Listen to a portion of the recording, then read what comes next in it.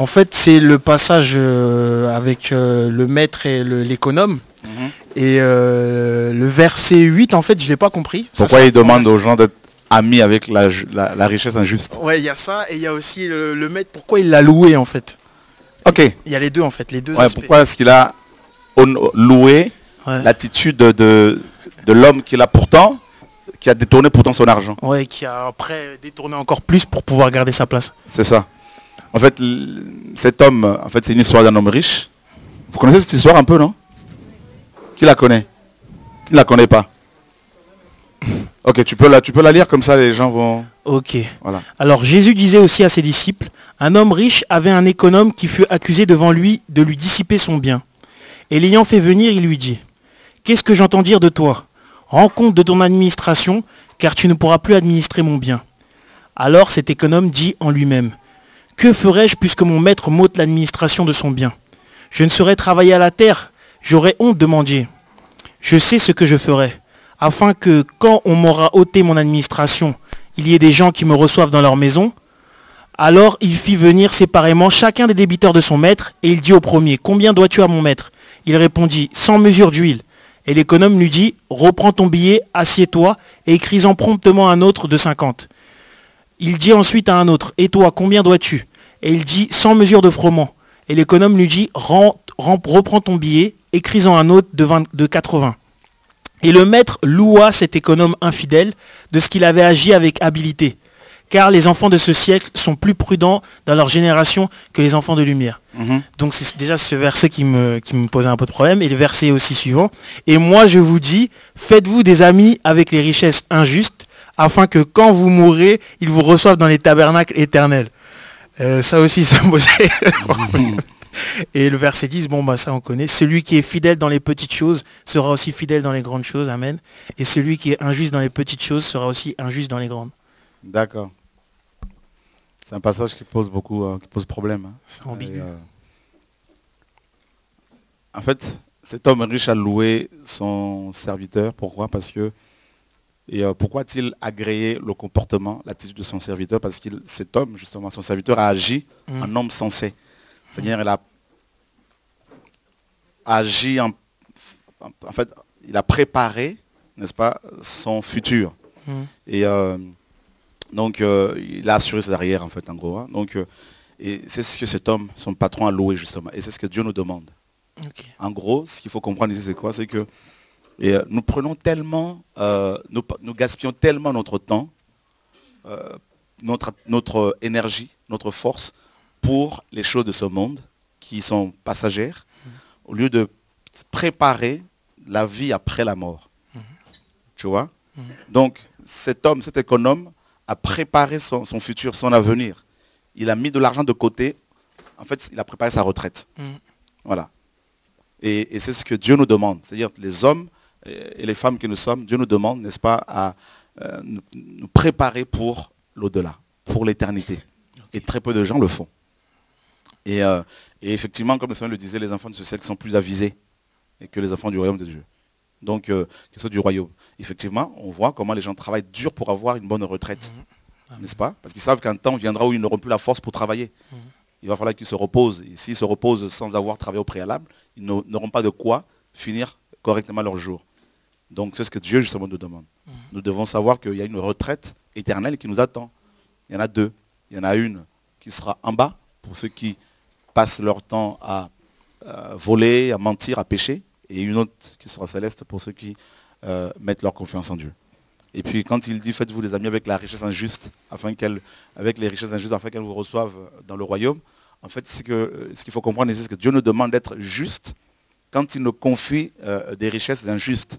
Par exemple, les, les billets de banque, la richesse matérielle, financière, c'est une richesse en fait injuste qui vient de l'homme. Et si Dieu nous confie cela, il faut en user correctement, n'est-ce pas, ne pas en abuser. Parce que si on est fidèle, eh bien, là-haut, Dieu nous récompensera. C'est ce qu'il faut comprendre? Bon, merci. Merci. Bonjour frères et sœurs. Mhm. Moi c'est le passage de Matthieu chapitre 15. Est-ce que tous les portables sont bel et bien éteints? S'il vous plaît. On est en direct en même temps. Et ça va.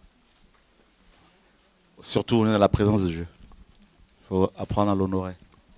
Matthieu chapitre 15 à partir du verset 21, c'est un passage euh, en partageant avec ma famille.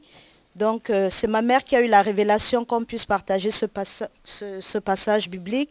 Et je ne comprenais pas grand-chose. Et au final, même j'ai été frappée sous l'onction parce que je disais, euh, quand je l'écoutais nous exhorter, enfin, je disais, non, ce Jésus-là ne peut pas être comme ça. Est-ce que tu peux le lire? Oui, il est écrit. Jésus étant parti de là, se retira dans le territoire de Tyr et de Sidon. Et voici une femme cananéenne qui venait de, ces contrées, lui cria, Aie pitié de moi, Seigneur, fils de David. Ma fille est cruellement tourmentée par le démon.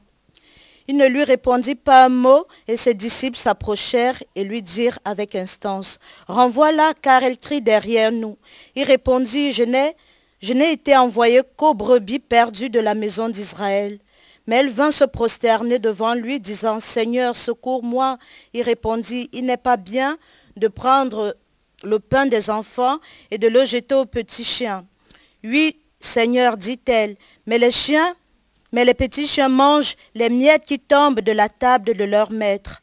Alors Jésus lui dit, Femme, ta foi est grande, qu'il te soit fait comme tu veux. Et à l'heure même, sa fille fut guérie. Mhm. Donc, euh, ce qui m'a perturbé, c'est que Jésus, on dirait que là, il a manifesté une discrimination vis-à-vis de ces femmes-là quand il a dit que, quand il dit au verset 23, il, répondit, euh, qu'est-ce qu'il dit là?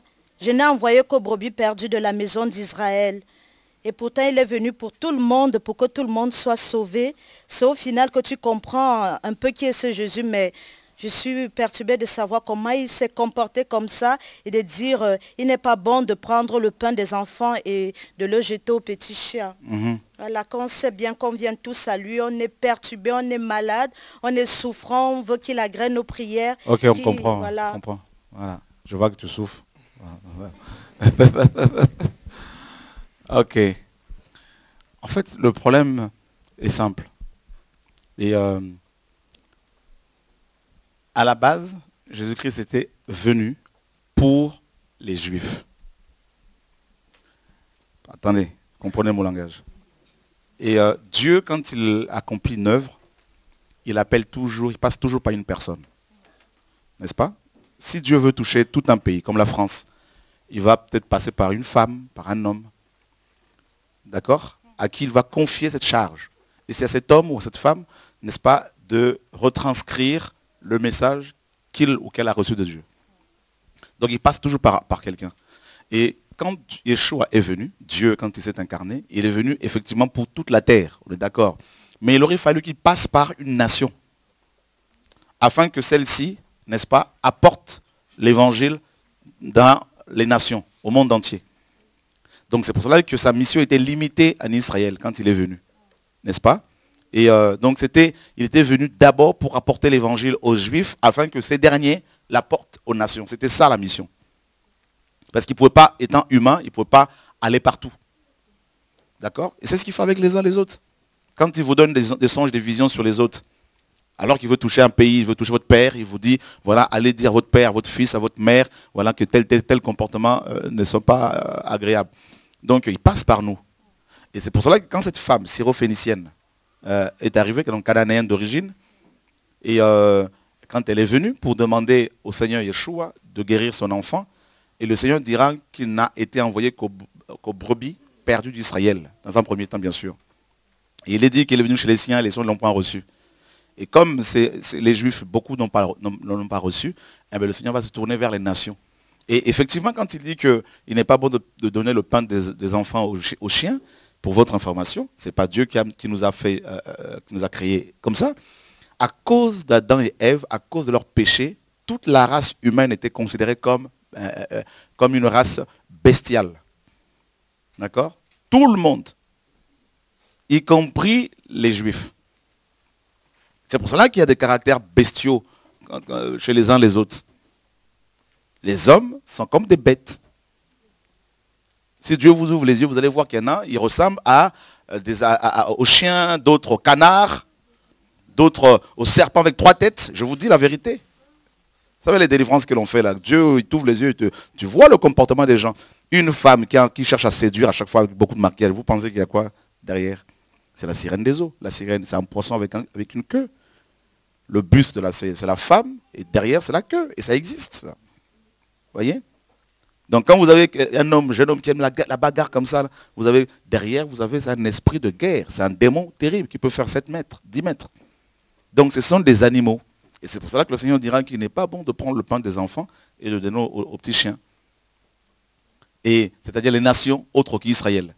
Et cette femme qui avait foi dira, mais euh, les petits chiens mangent quand même des miettes. Et le Seigneur va admirer sa foi. Et il dira même qu'en Israël, il n'a pas trouvé une foi aussi grande. Et vous remarquerez que à deux reprises, hein, le Seigneur l'a dit, hein, hein, notamment en ce qui concerne le, centenier romain, et euh, il dira également qu'en euh, Israël n'avait pas vu une foi aussi grande. Donc euh, nous étions tous comme des animaux, et, Christ nous a délivrés, et nous sommes devenus maintenant des hommes et des femmes spirituels. Amen. C'est pour cela qu'un Corinthien nous parle de l'homme animal. Donc tous ceux qui ne sont pas en Christ sont des animaux. Voilà. Parce qu'on ne peut pas comprendre que deux personnes, même si elles ne sont pas de la même ethnie, puissent se détester autant, se faire la guerre, la guerre comme, des guerres comme on, le voit aujourd'hui. C'est l'homme. Donc c'est bien, c'est des hommes parfois en costard, et cravate. Hein. Mais c'est des véritables animaux. Voilà. Et il faut une délivrance. Oui. Bonsoir à tous. En fait, euh, le passage de la femme, euh, euh, cananéenne, donc le Seigneur m'a... En fait, je suis tombée sur ce passage plusieurs fois. Et moi, je l'ai pris positivement, dans le sens où je voyais plutôt la démonstration de, la foi. Donc c'est vrai que le Seigneur, comme à la base, il est venu pour le peuple juif. Et moi, je disais, Seigneur, je suis une femme, je reconnais, je suis une femme cananéenne, je ne suis pas à, l'origine juive, quoi, je n'étais pas chrétienne. Et euh, ce que j'ai ce compris après par, le, par les, miettes, le pain, c'est que bon, de toutes les façons, j'ai considéré ça comme, comme la vie. Donc pour moi, c'est vrai que il a, a l'émotion. Je vais me calmer. Amen. Voilà. Bon, je vais me reprendre. Donc par rapport à le, Seigneur, il me donnait beaucoup ce passage à, la base au début de ma conversion. Et euh, je disais, je, ne comprenais pas, mais j'étais plutôt contente parce qu'il voyait que je demandais, Seigneur, tout ce que je veux, c'est la paix. La paix. Je ne veux pas d'argent, je ne veux pas d'or, mais la paix. Donc après, au départ, je me suis dit qu'il me disait, euh, il se disait, bon, de toutes les façons, toi, tu ne veux pas beaucoup, juste la paix, juste la petite paix, que le petit pain de vie, c'était les miettes. Moi, j'ai considéré comme les, miettes. Le, pain, c'est la vie. Moi, je pense que le pain, c'est la vie. Ah, et je disais, mais même si, même si c'est les miettes, même si c'est un peu dont je veux pas, c'est la parole dont je ne veux pas grand-chose, je veux pas d'argent, je veux pas d'or, je veux juste à présent, je veux un, tout petit peu, un tout petit bout, parce que c'est du, moment la vie, petite ou petite ou grande, c'est la vie, quoi. Donc, c'est comme ça que j'ai conseillé les miettes, quoi. Et je sentais qu'il m'encourageait dans, ma foi. Donc, après, quand je passais sur ce, quand je tombais sur ce passage, je disais, non, Seigneur, je ne suis plus la femme cananéenne, je suis euh, ta fille maintenant. Donc, euh, je, mhm. j'ai une, une, fille d'Israël dont j'ai grandi. Donc, euh, moi, je pense que ce passage est plutôt encourageant pour ceux qui ne sont pas à la, base chrétiens et qui, c'est pour les motiver, quoi, qu'on euh, peut ne pas être chrétien, on peut ne pas avoir des, parents chrétiens, mais par la foi, par euh, la volonté d'avoir, de, toucher à cette vie, on y arrive, quoi. Donc, c'est comme ça que j'ai, aimé ce passage. Oui, non, mais c'est, clair, il y a deux, toujours deux interprétations. Hein. Il y en a qui peuvent être choqués, comme la sœur. Donc, c'est après, je pense que tu as compris. Hein. Donc, Christ est la vérité. Donc, effectivement, il était venu pour D'abord pour les juifs, ensuite pour tous les autres. Voilà. Mais dans son plan parfait, tout le monde était inclus. Voilà. Tu as parlé en fait euh, de la nature animale en fait. Mais euh, la nature animale est, dans l'homme. Uh-huh. Et puisque la Bible nous dit que l'homme est animal. Et c'est vrai que on donne nos vies au Seigneur, on est converti, on cherche la face de Dieu, on prie, on aime le Seigneur, mais cette nature-là, en fait, si on ne veille pas, cherche toujours, c'est la chair, en fait, qui cherche toujours à s'installer. Voilà, c'est ça qui me, qui me montait dans le cœur. Ok. Donc, posez plutôt les questions, s'il vous plaît, pour qu'on avance. Ouais, merci. Oui.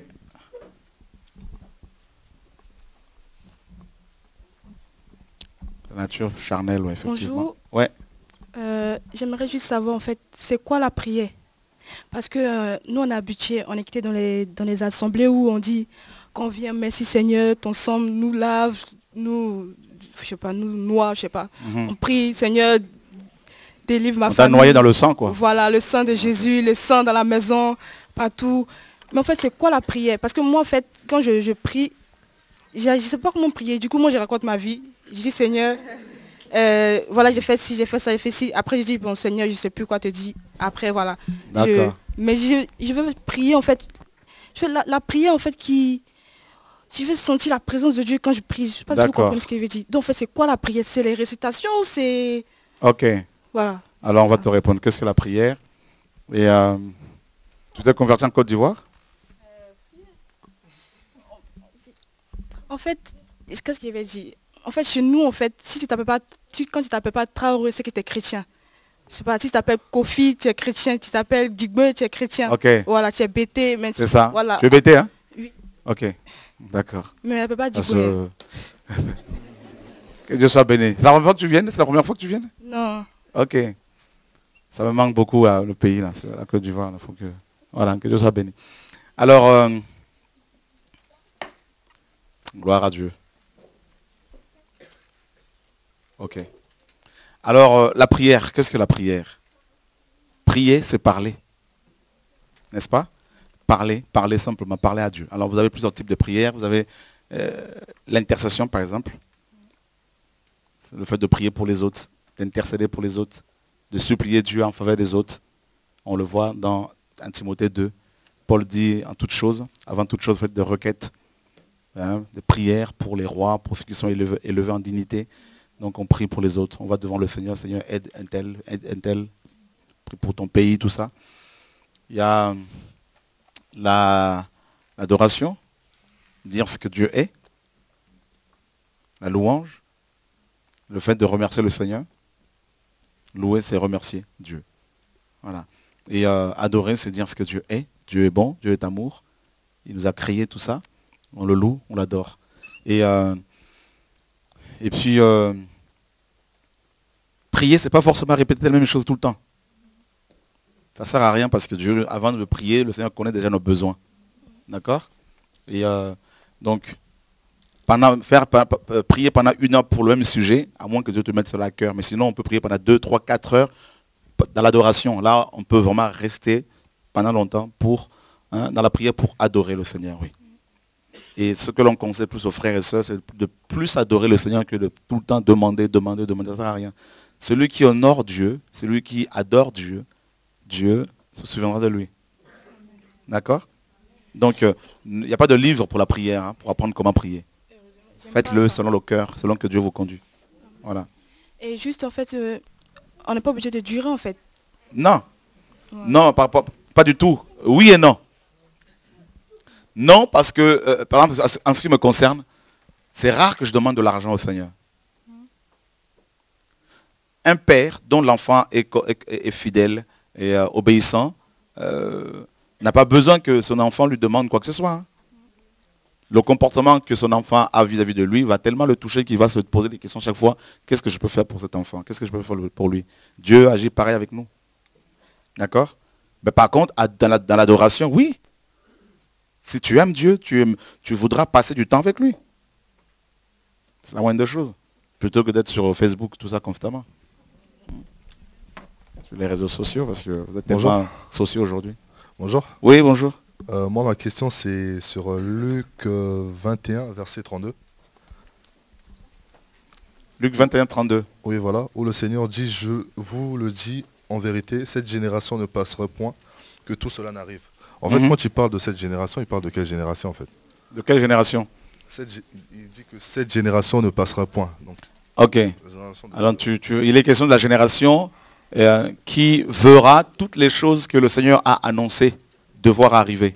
Dans notre génération. Donc, euh, il parle de guerre, il parle de tremblement de terre, il parle de, de, Il dit dans Matthieu 24 que ceux qui seront, quand vous verrez l'abomination de la désolation mm, mm. dont euh, a parlé Daniel, mm. établi en lieu saint, que celui qui lit fasse attention.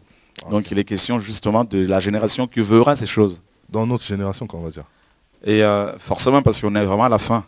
Vous ne sentez pas qu'on est vraiment à la fin Voilà, c'est la fin. Le monde est sans sens dessus dessous, tout est renversé, les, valeurs ne sont plus là, et mm, mm. les jeunes sont désemparés, des couples se brisent, beaucoup de parents ont démissionné, les enfants se retrouvent seuls devant les écrans matin, midi, soir. Et euh, euh, voilà, on est à la fin, c'est la confusion totale. Même le, climat, euh, la, nature même soupire après le retour du maître. Mm. Ok, Bonjour à tous. Je bénis Dieu beaucoup parce que l'apôtre vient de faire allusion au passage que j'allais poser la question. Dans Matthieu 24, 15, où il dit, c'est pourquoi lorsque vous verrez l'abomination de la désolation dont a parlé le prophète Daniel établi en lieu saint, que celui qui lit fasse attention. Et quand nous continuons vers 20, il dit, priez pour que votre fuite n'arrive pas en hiver, ni un jour de sabbat. Amen. Mhm. En fait, je voulais savoir, quand il dit lieu saint, c'est où, c'est qui? Le lieu saint, ouais. c'est Israël. Premièrement. Hein, donc, euh, voilà, c'est Israël, parce que Jérusalem est appelée la, ville sainte. Et hein, donc la ville sainte, la terre sainte. Ensuite, il est question aussi de nos assemblées. Et vous n'êtes pas sans savoir que le diable est bien assis dans nos églises d'aujourd'hui. Hmm. Il se nourrit des acclamations que les gens lui donnent. Il se nourrit de, ces chants de chorales avec des soutanes, avec ces pasteurs en costume et cravate, avec leurs femmes comme des véritables reines. Le diable est adoré dans ces bâtiments d'église, hein. avec la dîme, l'impôt que l'on paye aux pasteurs, tout ça là, pour les enrichir. Et eux, ils vont voyager partout et vous ne voyagez jamais. Vous êtes toujours à Paris-Plage. Eux, ils ont fait toutes les nations pratiquement. Ils sont dans les hôtels 3-4 étoiles. Vous vous dormez dans des picoques. Tout ça, c'est de l'arnaque. Dis à ton c'est de l'arnaque. Voilà. On va casser tout encore. Là. Je sais pas, moi, ma tête est réclamée. Parfois, je me fais peur moi-même. Ah. Qui se rend compte que les églises sont malades? Voilà, quand on, y va, donner, donner, donner, donner. On donne quoi là? Il faut, arrêter mes amis. C'est pour ça que Dieu compte sur vous, la jeunesse là. Je vous dis. Allô? Oui Il y a quelqu'un qui veut... Non? Ok. Euh, je voudrais poser une question. C'est mhm. dans Jérémie euh, chapitre 8, mhm. verset 1 et 2. Il dit, en ce temps-là, dit l'Éternel, on tirera de leurs sépulcres les eaux des rois de Juda, les eaux de ses chefs, les eaux des sacrificateurs et les eaux des prophètes, et les eaux des habitants de Jérusalem. On les étendra devant le soleil, devant la lune et devant toute l'armée des cieux qu'ils ont aimé, qu'ils ont servi, qu'ils ont suivi, qu'ils ont recherché et devant lesquels ils se sont prosternés. Et euh, on ne les recueillera point, on ne les enterrera point, et ils seront comme du fumier sur la terre. En fait, je voudrais savoir qu'est-ce qu'il veut dire par là le prophète? Est-ce que en fait ces personnes, on va, on va plus les enterrer? Je ne comprends pas trop ce que ça veut dire en fait. Je comprends pas trop le langage prophétique. Là, c'est aussi la, il est question aussi de la grande tribulation. Donc les oiseaux vont manger la chair des rois, des, généraux, des colonels. Donc euh, ce passage-là, bien sûr, a eu plusieurs accomplissements dans le passé, mais il est aussi question de la fin de temps, de la, grande tribulation, de l'Armageddon, la, troisième guerre mondiale. Mhm. Il y a une... une euh, bonjour, moi je voulais savoir euh, c'est quoi, euh, c'est quoi une église de Satan? Parce que quand, quand je suis partie de mon assemblée, on m'a dit que qu'apparemment on aurait dit que c'était une église de Satan. Tu, allais prier dans une église de Satan Non, non, que en fait, c'est l'assemblée où j'étais avant, je suis partie. De l'église de Satan Voilà, et les gens m'ont reproché que moi, j'ai dit que c'était une église de Satan, alors que je ne sais même pas ce que c'est et je n'ai pas dit ça. Ok, donc l'église de Satan. Alors, le mot église, certainement, vous savez ce que c'est. Hein l'église vient de ce mot-là.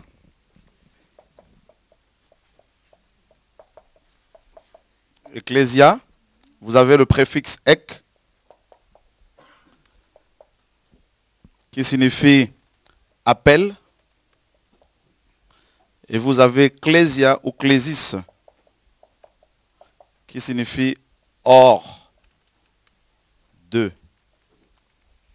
D'accord?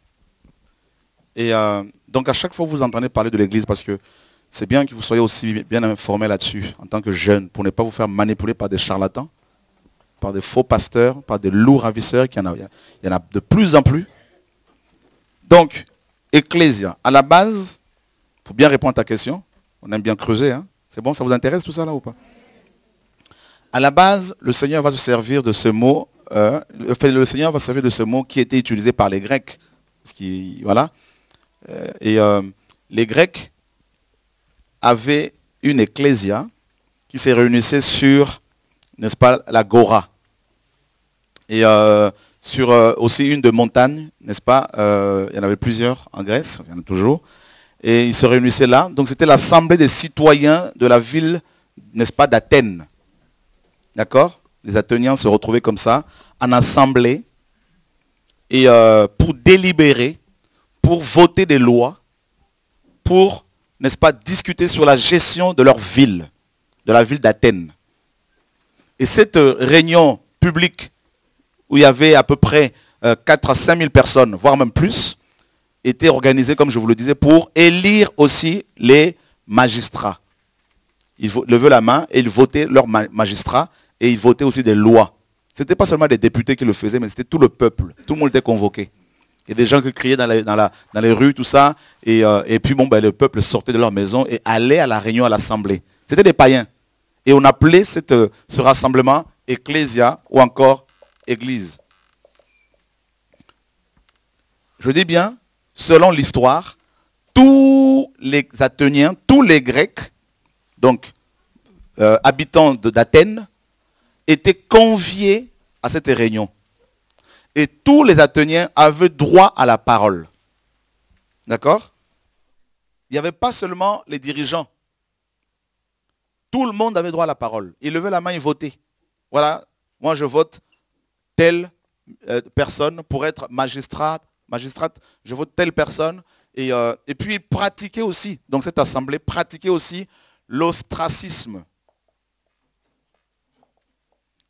L'ostracisme. D'accord?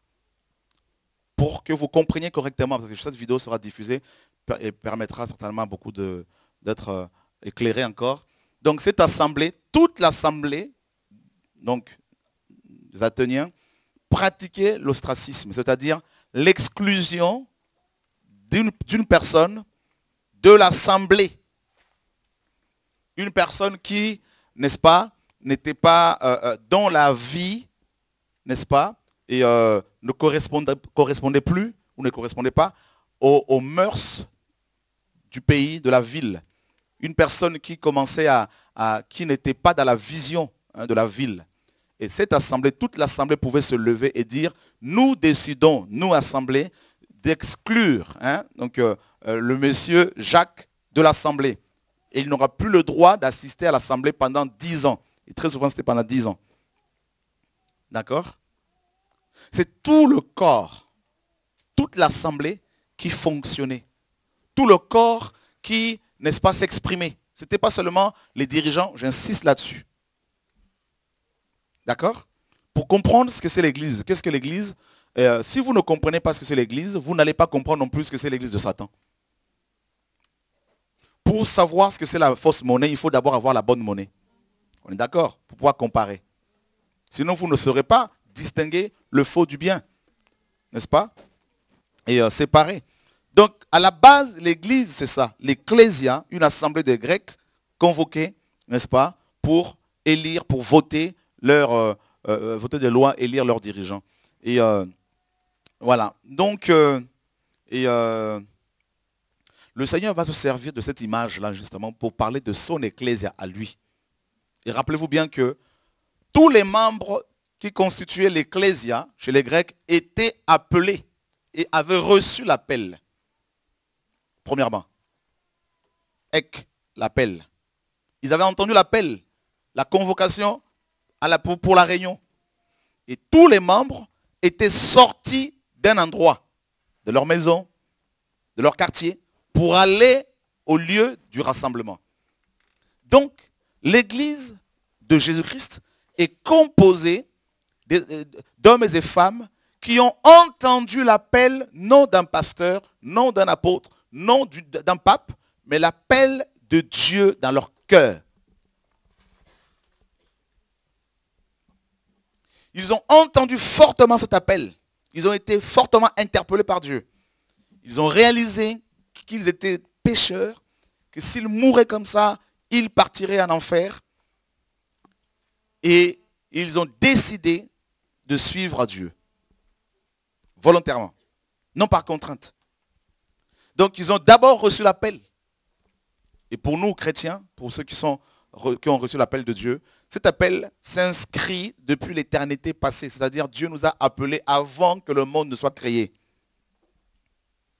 Et un jour comme ça, après qu'on euh, qu'on soit né, tout ça, euh, qu'on ait 15 ans, 14 ans, 12 ans, 20 ans, 9 ans, je ne sais pas quel âge vous avez, eh bien là, Dieu vient, il te dit, voilà, je t'ai appelé, depuis l'éternité, je t'appelle, viens. Et là, quand tu, entends l'appel comme ça, eh bien, qu'est-ce que tu fais? Tu sors. On sort d'où? On sort d'abord du péché. D'accord? Le Seigneur dit, vous êtes dans le monde, mais vous n'êtes pas du monde. Donc on sort aussi du monde. Donc du coup, tu ne peux plus, toi, jeune fille qui n'est pas encore mariée, donner ton corps à un homme pour qu'il le caresse. Tu ne peux pas accepter qu'un homme te plotte. Tu ne peux pas accepter qu'une femme te plotte parce que vous n'êtes pas marié. Tu es sorti de tout ça là. Jeune, oui, beau, oui, belle, oui, mais tu n'es plus comme les autres. Mais si tu fréquentes un groupe de gens qu'on appelle l'église et que tu continues dans ta vie de péché, tu n'es pas membre de l'église de Dieu. Tu es membre de l'église de Satan. On va en arriver là. Donc on sort. Comme Abraham est sorti de la Mésopotamie, Dieu lui dit sors. Comme les enfants d'Israël ont quitté l'Égypte, Dieu les a tirés de l'Égypte. D'accord? Et, euh, et cette église-là du Seigneur, qui a reçu l'appel, qui est sortie du péché, du monde, cette église, justement, ses frères et sœurs, ses hommes et ses femmes, eh bien, et, euh, se retrouvent entre eux autour de la parole de Dieu. Yeshua a dit là où deux ou trois s'assemblent en mon nom. Or, son nom, selon Apocalypse 19, 13, son nom est la parole de Dieu. Donc ce ne sont pas des gens qui s'assemblent au nom de leur dénomination. Oh, je suis baptiste. Oh, moi, c'est l'église la manne cachée. Moi, c'est la lumière cachée. Moi, c'est... Euh, non, ce n'est pas ça. Ce sont des, hommes, et des femmes qui se, qui se rassemblent parce qu'ils sont amoureux et amoureuses de la parole de Dieu. D'accord? Parce qu'ils méditent la parole, parce qu'ils aiment la Bible, ils aiment la parole et ils la lisent et la méditent, ils se, retrouvent dans la parole. Donc du coup, ils se retrouvent entre, il y a des connexions qui se font entre trois, quatre femmes, quatre sœurs, cinq sœurs, cinq frères et sœurs. Ils, se connectent comme ça et puis ils prient ensemble. Ils peuvent être deux ou trois, quatre, on, on, peut les chasser des églises de Satan, mais ils se retrouvent entre eux euh, dans les parcs, à la maison, pour partager la parole, pour prier. On les traite de rebelles. Non, ils ne sont pas rebelles. Ils sont amoureux, ils sont passionnés, c'est pas pareil. C'est la véritable église. Voyez?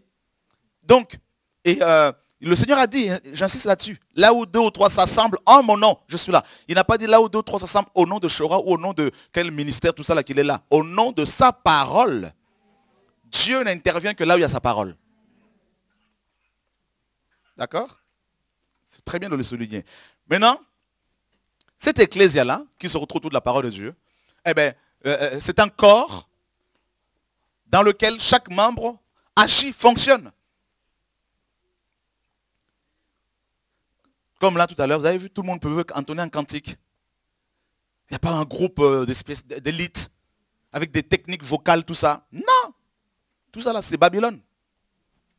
Ils sont en costard, ils sont, je sais pas, en soutane. Et, euh, et puis là-dedans, là, il y, a du poisson, il y a de, de, de, de je sais pas, de crocodile, il y a de, crabes, il y a de. Ça mixe, ça mélange complètement, euh, mes amis, là. Bref. C'est pas ça. Tout le monde peut chanter. Tu es là, tu as un cantique, eh ben, tu peux l'entonner. Il n'y a pas de Oh non, je suis timide. Mais es timide, tu restes chez toi à la maison. Voilà. Quand on aime Jésus, on n'est pas timide. Quand on est amoureux, là, on est timide là.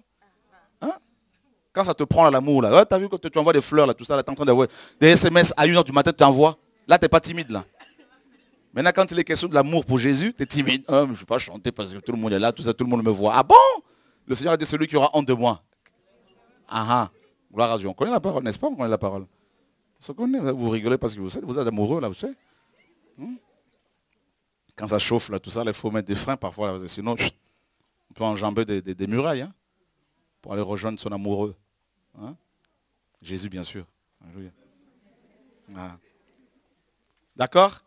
Donc l'église de Satan, maintenant, c'est quoi? Dans l'église de Satan, eh ben, euh, c'est aussi l'ecclésia. Pareil, comme dans Acte 19, 32, on retrouve euh, ce terme-là. Il est dit que les uns criaient d'une manière, les autres d'une autre, et le désordre régnait dans l'assemblée. En fait, c'était dans un tribunal où Paul était accusé. Et le grec appelle ce rassemblement ecclésia, église. Mais pourtant, ce n'était pas pour le Seigneur. C'était un rassemblement. En fait, les meetings politiques que vous voyez là, c'est des, églises en fait. Des meetings politiques, tout ça là, tout ça, des églises. C'est des églises, des rassemblements, des assemblées. En grec, c'est ecclésia. Mais vous verrez que ce sont des églises où Christ n'est pas glorifié. Alors vous avez aussi des églises euh, qui se réclament du Seigneur Jésus-Christ, où la Bible est de, temps à autre lue. En fait, quand vous grattez un peu, vous allez voir que les gens n'ont pas le droit de chanter. Il y a seulement un groupe qui chante. Ce n'est pas l'église du Seigneur. Parce que dans l'église du Seigneur, il y a la liberté. Or, le Seigneur, c'est l'esprit. Et là où est l'esprit du Seigneur, là où est là, la liberté. Alors là, il n'y a pas la liberté. Dans le chant, il n'y a pas la liberté. Dans le partage de la parole, il n'y a pas la liberté. Dans les offrandes, il n'y a pas la liberté parce qu'on vous donne des, chiffres, des sommes euh, à, donner. On vous impose. Et il n'y a que le pasteur qui parle du matin au soir. Depuis le 1er janvier au 31 décembre. Hein? Du 1er janvier. Vous voyez que ce n'est pas l'église du Seigneur. Vous êtes, vous, êtes vous êtes en prison. Voilà. Enfermé. Voyez? Et le Seigneur n'est pas là-dedans. On s'est trop fait avoir. Voilà, donc dans l'église de Satan, ben, vous avez des jeunes filles habillées les fesses en l'air. Et ça se dandine partout, il n'y a pas de problème. Les hommes sont habillés tellement sexy, tellement serrés. Hmm? Il n'y a pas de problème là-dedans? Ça vous fait rire, mais c'est des choses que vous voyez. Avec ces vêtements complètement efféminés pour les efféminés, là, tout ça, les hommes se féminisent de plus en plus. Hmm? Ça baisse leurs pantalons, tout ça, les, leggings, tout ça, les, les, les, comment on appelle ça déjà, les, euh, baggy, c'est ça Baggy. C'est plus de notre génération, là, tout ça. Là. Les slim, tout ça, là, c'est... Vous, vous vous rendez compte? Les hommes qui marchent comme ça, ils ne savent plus comment marcher parce que les pantalons, ça les... Quand ils se lèvent, les jeunes hommes, là, on voit, on voit, on voit leurs sous-vêtements. Vous trouvez ça normal? Voilà notre génération, là, nos églises, les églises, c'est les églises de Satan. Voilà. D'accord? Et les sorciers sont, Il y en a plein là-dedans. Là. Ok. Vous avez compris, hein? Donc l'église de Satan, c'est l'église où il y a la dîme, où les gens... Voilà, tout le temps, c'est l'argent. Bonjour. Mhm. Euh, j'ai une petite question par rapport à là où deux ou trois sont rassemblés, euh, le Seigneur est au milieu de nous. Et il y a aussi l'Éphésiens qui parle des différents ministères et donc euh, des différents ministères qui permettent l'édification des saints. Donc moi j'ai un peu de, mal pour, concilier les deux. En fait, le mot ministère, moi c'est un, terme qu'on a, que, nous sommes en train de bannir carrément. Parce que ça nous a tellement induit en erreur justement dans la Bible que nous sommes en train de réviser, ce mot-là a été extirpé. Et, euh, parce qu'à la base, c'est diakonos en grec. Diakonos qui veut dire premièrement service. En fait, le Seigneur a dit dans Matthieu 25 euh, qu'il n'est pas venu pour être servi, mais pour servir, n'est-ce pas? Donc, la notion du service a disparu avec le mot ministère. Parce que beaucoup de prédicateurs se disent être ministres de Dieu et ils se comparent aux ministres du monde. Alors que dans, la pensée du Seigneur, c'est tout ce qu'il a appelé, hommes ou femmes, sont ses serviteurs, au service des autres. Donc en fait, là où deux ou trois s'assemblent au nom de Yeshua, ils sont tous ministres de Dieu. Enfin, je veux dire dans ce sens, ils sont serviteurs. Donc ils peuvent s'encourager mutuellement. Oui, mais est-ce que le Seigneur ne dit pas qu'il faut les cinq différents dons Pas du tout. en fait, la maturité? En fait, euh, il est dit dans Actes chapitre 2 qu'il persévérait les premiers chrétiens dans l'enseignement des apôtres. N'est-ce pas? Et tout ça, là, ce qu'il faut comprendre, c'est qu'au premier siècle, le canon des écrits de la Nouvelle Alliance n'était pas encore achevé, constitué. Donc il n'y avait pas encore tous les livres. Et les apôtres faisaient office des écrits de la Nouvelle Alliance. N'est-ce pas? Donc maintenant, une fois que ces écrits euh, euh, euh, étaient finis, rassemblés, hein, en, un, recueil, tout ça, eh bien, si nous voulons persévérer dans leur enseignement, ben nous devons méditer la parole. Nous avons l'enseignement de Paul. nous pouvons être perfectionnés en méditant cette parole. Amen. Donc, vous voyez, on ne peut plus ramener les gens au passé à l'époque où il n'y avait pas les écrits. Et leur demander justement de chercher absolument des pasteurs, des prophètes, des apôtres, d'où justement l'esprit de contrôle que ces hommes et ces femmes mettent sur les frères. Et c'est terrible, alors que nous avons déjà la Bible. En la lisant, en la méditant, eh bien, nous, avons, nous persévérons dans l'enseignement des apôtres. Amen. Cela n'empêche pas que quand il y a des ministères, enfin, des, serviteurs, nous sommes tous serviteurs, oh et euh, de, nous encourager mutuellement. Mais les prédicateurs, ils sont, nous sommes tous prédicateurs. Mais les, pasteurs, les apôtres ne sont pas au-dessus des chrétiens, c'est des frères. Oui, on a besoin de, ces de, ces serviteurs aussi pour être encouragés, mais nous avons avant tout le Saint-Esprit, la Bible, et par-dessus tout Jésus. Oui. Bonjour. Euh, il y a mon frère Nicolas qui n'ose pas prendre la parole, je vais poser la question à sa place. Mhm. Euh, il demande c'est quoi les cinq ministères, donc apôtres, tout ça? Ok, très bonne question. En fait, le mot, comme je disais tout à l'heure, on a remplacé le mot service par ministère. Euh, du coup, quand quelqu'un devient, quelqu'un devient pasteur, il, commence à se comporter comme un ministre du monde. Tu vois? Et c'est plutôt les serviteurs, on dira. Donc ils sont au service des autres. Afin qu'Éphésiens 4 afin, Ephésiens 4 nous parle de cinq dons que Dieu a donnés aux hommes. Apôtres, prophètes, docteurs, pasteurs, évangélistes. Ils ont été établis pour, ils sont établis pour enseigner en permanence. D'accord? Tout le temps, ils passent leur, temps dans l'enseignement, tout ça, pour équiper les, chrétiens. Voilà. Mais ils ne sont pas au-dessus. Et euh, si tu veux être bien équipé aujourd'hui, eh ben, prends le temps chez toi de prier et de méditer la parole de Dieu. Et tu seras bien équipé parce que dans la Bible, tu as les enseignements de ces cinq serviteurs, ces cinq dons. Apôtres, prophètes, des apôtres qui ont écrit, des prophètes qui ont écrit, des évangélistes qui ont écrit, des pasteurs qui ont écrit. Donc, euh, en méditant la parole de Dieu, tu seras bien nourri, bien fortifié. D'accord? Ne cherchez pas à savoir euh, dans quel service Dieu vous a appelé. Vivez simplement la parole de Dieu et laissez Dieu faire ce qu'il a à faire avec vous. Amen? Oui, la sœur laquelle veut la main depuis tout à l'heure? Alléluia. Bonjour. En fait, j'ai une question un peu personnelle. Mhm. Est-ce que c'est normal d'avoir peur de servir le Seigneur? Tu as peur? Oui. Pourquoi? J'ai peur parce que une fois dans un songe, je sentais que ma bouche, dans le son, je sentais que ma bouche bougeait, que je devais parler, que je, devais faire sortir des choses. Et il y a une autre parole qui me dit, si tu ouvres ta bouche, si tu parles, tu ne pourras pas faire marche, euh, marche, arrière au fait. Mhm. Et là, je me suis réveillée parce que j'ai eu peur. J'ai eu peur d'ouvrir la bouche, je me suis réveillée. Enfin, je me dis, bon, dès que c'est un truc, ça va passer. Mais quand je prie, même si je dis deux, trois phrases, que je sens que je suis un peu, je rentre un peu dans la prière, je m'arrête.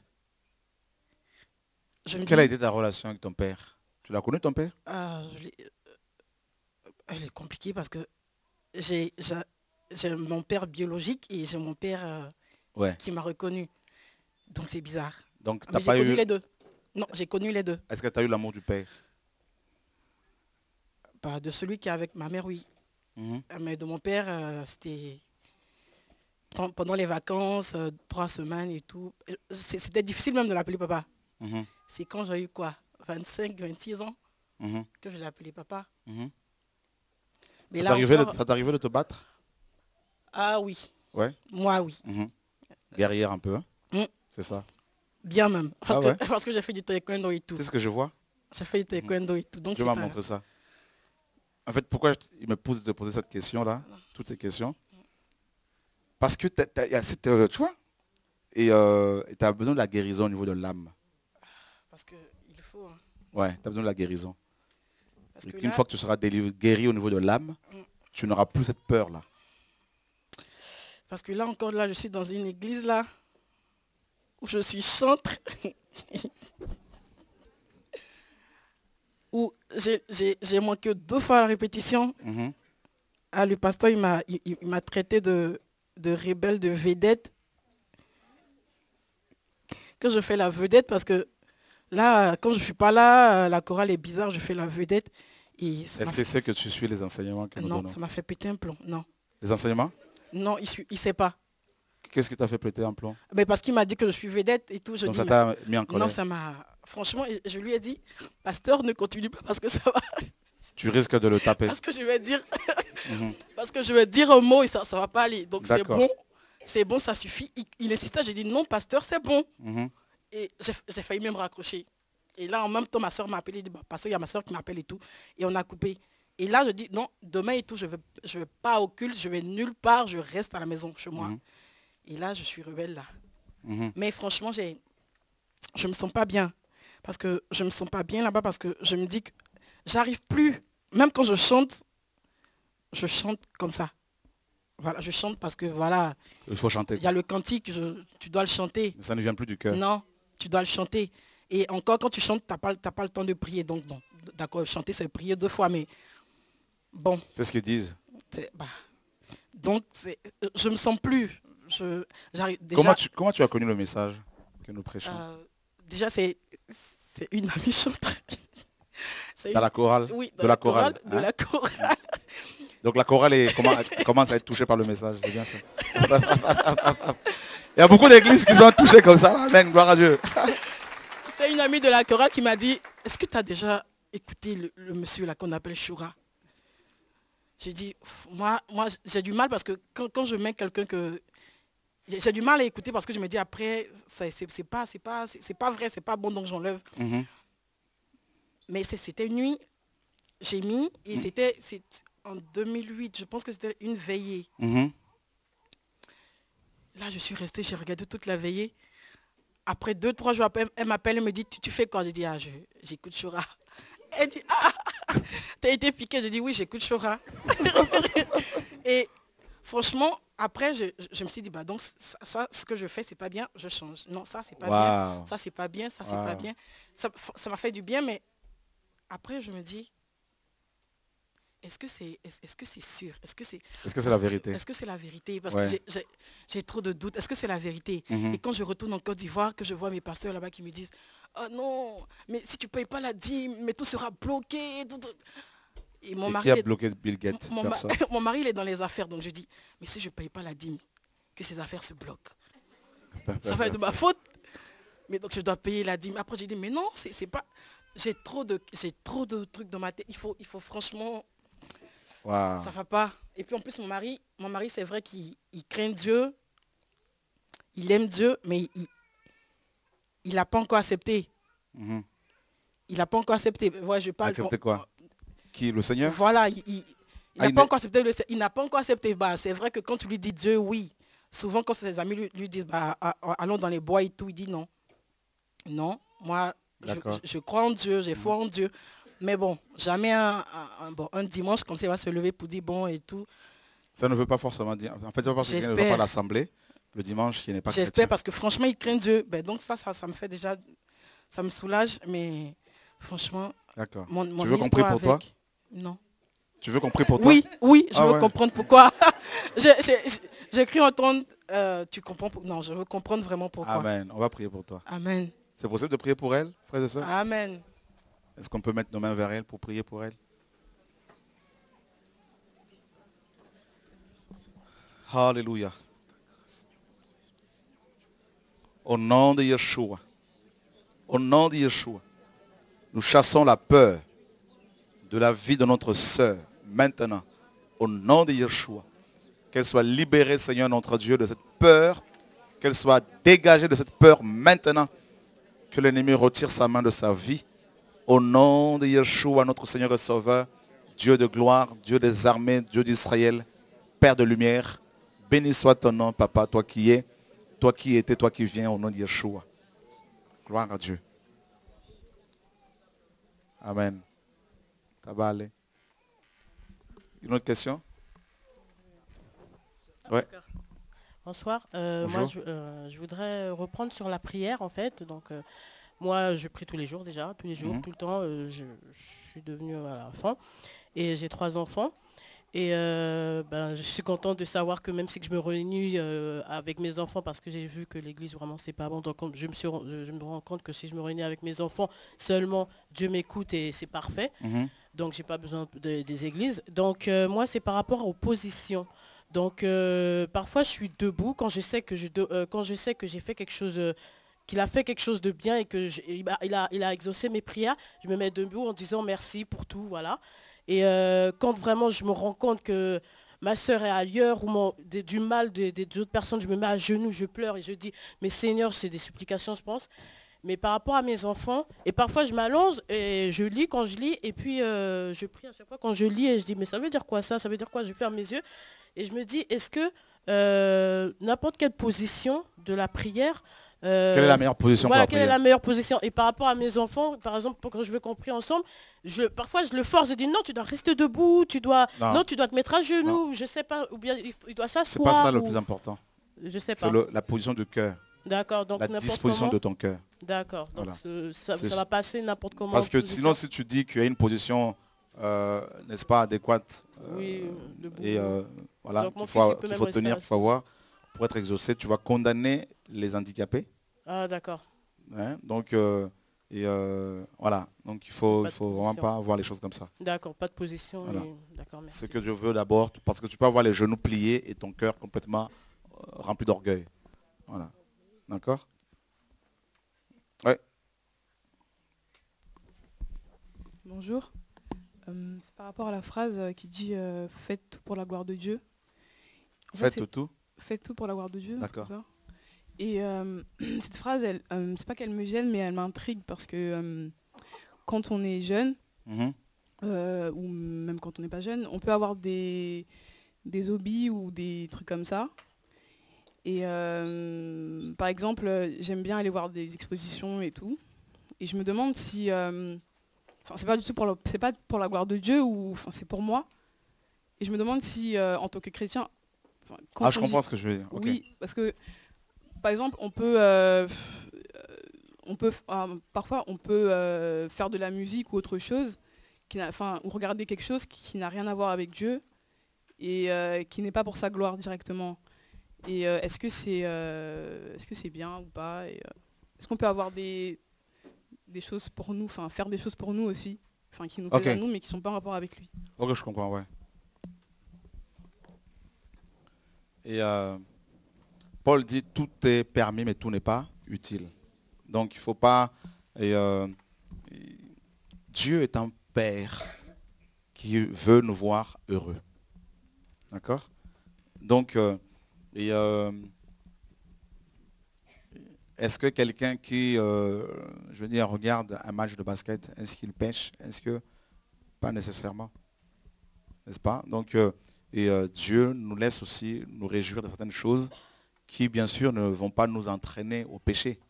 N'est-ce pas? Donc, euh, il, faut, il faut avoir un juste un équilibre, en fait. Voilà, donc c'est tout. Donc, il ne faut, il faut pas aimer le monde, euh, bien sûr, et euh, il ne faut pas aimer le foot, le basket plus que Dieu, ou les expositions que tu vas visiter, tout ça plus que Dieu. Mais il veut nous voir aussi heureux. Voilà. Donc, il n'y a pas de souci. Hmm? Moi, c'est par rapport au sport, en fait. je suis quelqu'un, j'aime beaucoup le sport et Bon, euh, on m'avait dit, euh, enfin quand je me suis convertie, qu'il fallait que j'arrête de faire du sport parce que, euh, oui, voilà, c'est la séduction, tout ça, tout ça. Tu, faisais quoi comme sport? Je faisais de la gymnastique. D'accord, c'est sûr que ouais, l'habillement là, ouais, c'est. Là, ouais. C'est sûr que là, ça, ça craint, ouais. Et bon, en même temps, je faisais du basket, mais c'était bien, enfin, je sais pas. Basket, ouais, la, la, rigueur, ouais, pourquoi pas, ouais, si Dieu permet, hein, mais sinon, la gym, tout ça, là, tu te rends compte, hein? J'ai arrêté pour ça, parce que la tenue, euh, ah on bah, obligé d'être euh, sûr. le bain. Je serai le premier à venir sur place là pour t'enchaîner. et te tirer vers la délivrance. Maintenant, je me dis, bon... Mais là, tu fais plus rien? En fait, j'ai arrêté, j'ai trop arrêté. Et euh, parfois, j'ai envie de reprendre le sport. Reprendre quel, quel sport? Le micro. Du sport comme ça, enfin... Bah oui, c'est pas un problème. pour courir. Bien sûr. Par exemple, pour courir. bien sûr. Pourquoi pas Aller dans les salles. Hein Aller dans les salles. Mais les gens ils disent bon, il y en a ils sont, ils sont musclés, ils font exprès. Oui, non, mais le problème c'est que là-bas, les gens sont parfois mal habillés. Et euh, voilà, tu peux courir dans un stade. Hein, euh, dans ta ville, c'est un stade qui est ouvert, non Et dans le cas où la femme, par exemple, elle tombe enceinte et elle veut reprendre le sport. Bah J'ai demandé la question à une soeur et elle m'a dit euh, non, faut pas qu'elle fasse du sport parce que faut qu'elle se laisse grossir? Aller Mais moi, je sais pas. Non, ça c'est grave ça. J'arriverai pas, enfin, je sais pas. Amen. Nous sommes le temple du Saint-Esprit. Si quelqu'un détruit ce temple, Dieu le détruira. Donc nous sommes appelés à prendre soin de notre temple. Pas bien sûr d'aller l'exposer euh, ou mettre des, comme je dis là, les maquillages à outrance, là, tout ça. Là. Non, il faut être pudique, il faut être, euh, voilà, euh, avoir une, une, tenue décente. Mais oui, si tu peux, tu veux faire courir par exemple, ce n'est pas un problème. Dieu t'a donné les moyens de le faire. Donc courir pour entretenir, son corps n'est pas péché. Et il y a aussi des questions relatives, au mariage. Surtout là, là, ça chauffe. Hein? N'est-ce pas? Qui a des questions là-dessus? Ah bon? Eh bien les autres, c'est bien, vous n'avez. Vous pensez d'abord au Seigneur, aux études, c'est bien ça. Hein? C'est ça, non? Vous pensez d'abord au Seigneur. Hein? Ah, gloire à Dieu, ben, c'est bien, c'est magnifique. Magnifique. Il n'y a pas de sœurs qui t'embêtent. Hein? Alléluia, gloire à Dieu. Il n'y a pas le Dieu m'a dit, tout ça là, non? Mhm. J'ai reçu. Oui. Comment savoir que tel frère est ton mari, c'est ça? Hein? Ah Oui, oui, c'est vrai, c'est une bonne... Mais pourquoi personne n'ose parler de ça là? Donc vous voulez me pousser à... Hein? Bah si, vous, ah, tu n'as pas pensé. D'accord. Comment? Je crois qu'elle pense elle. Toi tu penses à cela? J'ai une autre question en fait. Euh, euh, par rapport au mariage, puisqu'en fait, euh, j'ai eu, je suis tombée enceinte avant que le Seigneur me touche. Et euh, le père de ma fille, en fait, n'était pas dans la parole. Et merci Seigneur, parce que le Seigneur a touché son cœur. Et, et donc, on a arrêté tout, rapport sexuel, tout ça. Mais par contre, on vit ensemble, mais on dort séparément. Dans, lui, il dort dans le salon, moi, je dors dans la chambre. Et c'est du concubinage. Donc, j'ai prié par rapport à ça. J'ai dit, Seigneur, Vraiment, je te crains parce que c'est toi qui, qui permet. Je voilà. C'est maintenant qu'est-ce qu'il faut faire? Parce que voilà, je suis un peu entre parce que je veux servir Dieu et en même temps, euh, voilà. Ok. On est là jusqu'à 16h, 18h. Bon, après, on va vous laisser. D'accord? Et euh,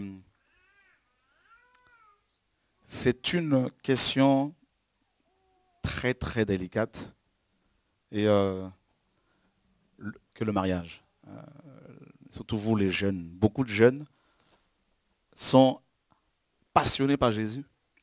Surtout quand euh, ils viennent de découvrir le Seigneur. Il y a la passion, il y a le zèle, il y a l'amour pour le Seigneur. Fille ou garçon, on voit ces jeunes accrochés, prier, tout ça, aller par-ci et là, aller ici et là, pardon, témoigner de Yeshua, aller sur les réseaux sociaux. Euh, mais sur ces jeunes, sur l'ensemble de ces jeunes, il y a seulement un petit pourcentage qui s'accroche, qui arrive jusqu'au bout de la mission. C'est une chose de se convertir, mais c'est une autre de rester ferme jusqu'à la fin. C'est un parcours rempli d'embûches, de pièges, de tentations, de pleurs, de doutes, de questionnements. Il y a des moments, où euh, tu peux en avoir assez, tu peux avoir, en avoir, euh, avoir ras-le-bol de, chrétiens, ça peut arriver. Comment faire pour faire des bons choix? Parce que la vie, c'est quoi? La vie, c'est juste un ensemble de choix, un ensemble de choix, pardon, que nous sommes amenés à faire. Choisir l'homme avec qui tu vas passer le reste de ta vie. Choisir la femme avec qui tu vas passer le reste de ta vie. Choisir euh, les frères et sœurs avec lesquels, les hommes et les femmes avec lesquels tu vas traîner ses amis. voyez Très souvent, dans nos choix, nous pouvons euh, nous tromper. Et quand on se trompe, on peut, si on, fait, si on se trompe, n'est-ce pas, sur le, euh, la personne avec laquelle vous décidez, vous avez décidé de vivre votre vie, le reste de votre vie terrestre, eh bien, vous pouvez même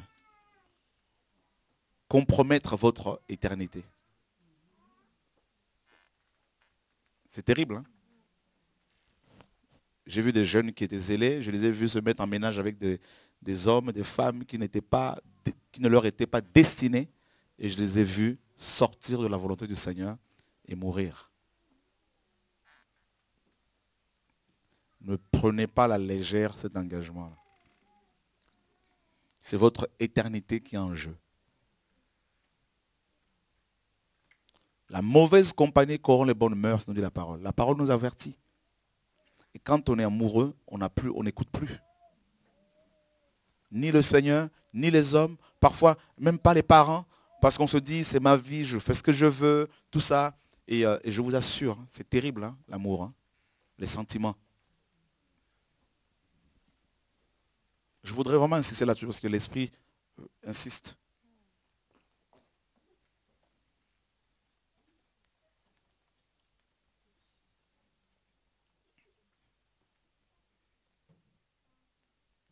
Y a beaucoup de choix que nous faisons. Choix pour les études.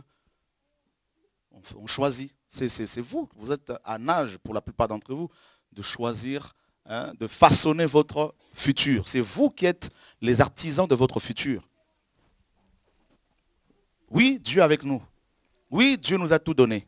Oui, Dieu est l'architecte par excellence. Mais il nous a donné les moyens pour façonner notre futur. Pour gérer, pour avoir un bon futur, il faut correctement travailler son passé, son présent. Si ton présent ne pas, euh, si dans le présent tu es mal, si présentement tu es mal, cela veut dire que ton, ton, passé a été affecté. Je prends un exemple. Une fille qui a été violée euh, hier, avant-hier, 5 ans, peut avoir aujourd'hui un comportement, n'est-ce pas, qui peut, n'est-ce pas, mettre mal à l'aise les gens, et on peut la condamner, mais pourquoi se comporte-t-elle comme ça? Mais parce que son, passé est abîmé.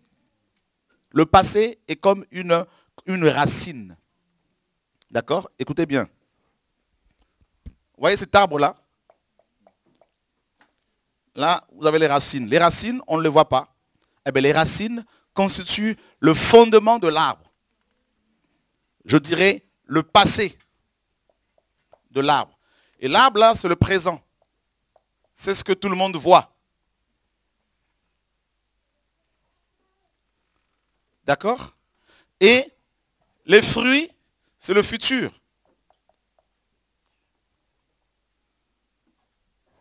Le passé, les racines ou encore la graine. Ça, c'est le passé. La graine, la semence. D'accord?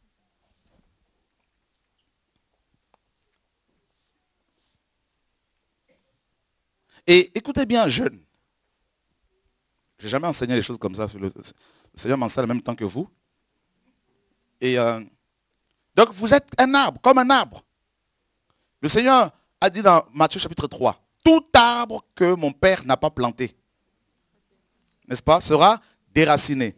Et Jean le dit euh, aussi dans Jean 3, Matthieu 3, pardon. Il dit, la cognée est mise à la racine des arbres. Donc les hommes sont comparés aux arbres. Dieu nous prend une plante sur terre. Et vous savez que nous sommes comparés à la semence également, à une semence, selon la Bible, à la parabole du blé et de l'ivraie. Semence, sperma, en grec. Écoutez bien, hein, en grec.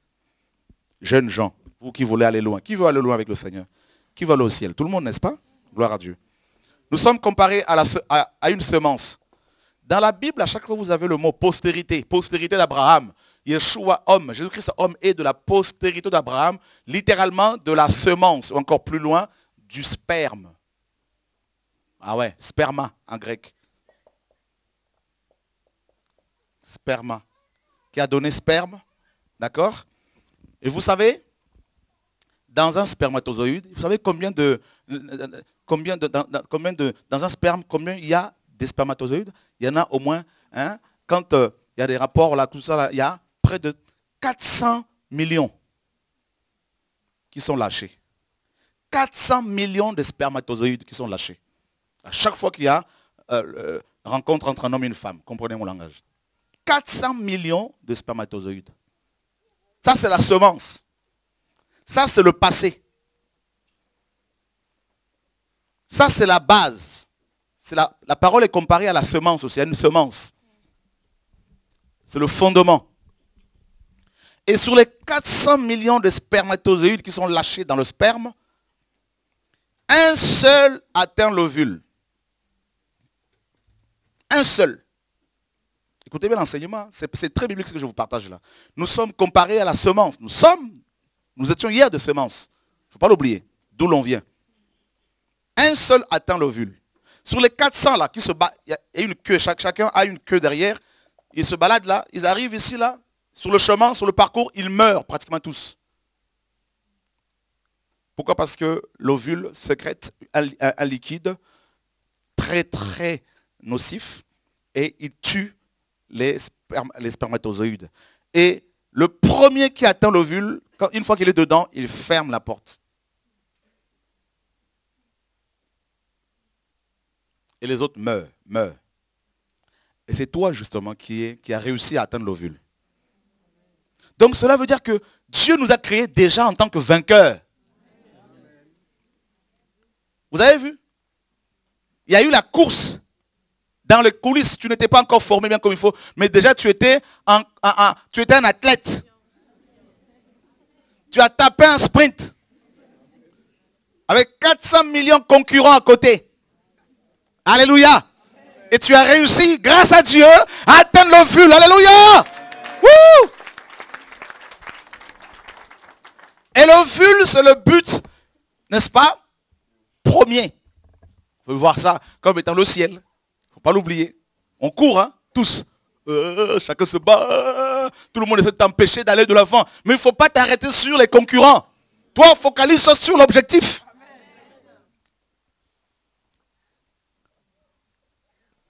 D'accord? C'est important, frère. Les gens avec lesquels tu traînes, là, tout ça, là, ils peuvent être des freins pour toi si tu ne fais pas attention. Ben oui. S'ils ne sont pas spirituels. Ils peuvent t'influencer positivement ou négativement. Ah non, mais tu sais, il est beau quand même, il est beau, mais oui, mais c'est un païen. Il est beau quand même. Ah bon, la beauté, tu vas la manger, tu penses que la beauté, ça va t'amener où la beauté là? Le feu. Au feu. Ah ben, elle est belle, mais elle est belle, mais elle est tellement orgueilleuse. Si tu l'épouses, c'est une carie pour toi. Elle va passer son temps à se, maquiller, à faire ses ongles, tous ces, faux ongles. Elle va passer son temps à gaspiller son argent pour le maquillage, tout ça. Là. Tu vas pleurer, mon frère.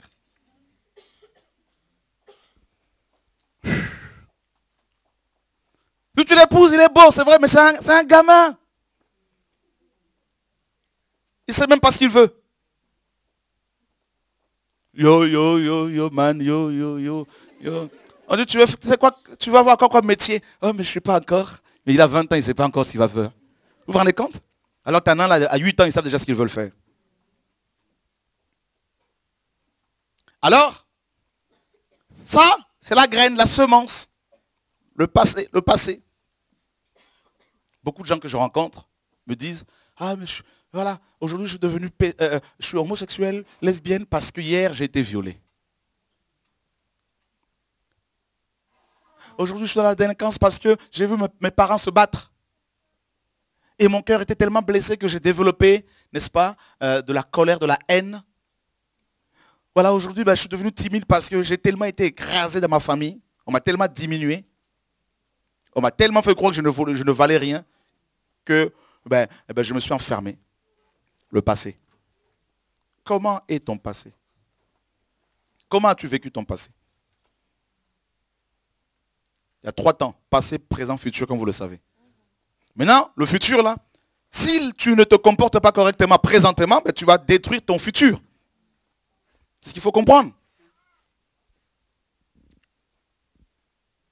Nous posons les bases aujourd'hui pour un futur meilleur. Et beaucoup négligent hein, le présent. Oh, j'ai le temps. Oh, mais on verra. Oh, on verra.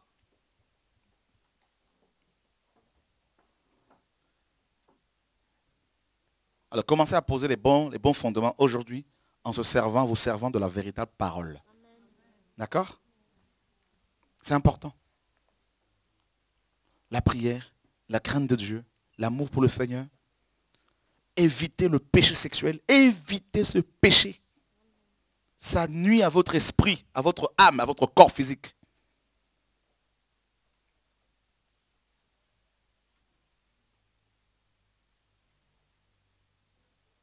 Et puis si un homme vient, une femme, allez d'abord devant Dieu. Seigneur, qu'est-ce que tu dis?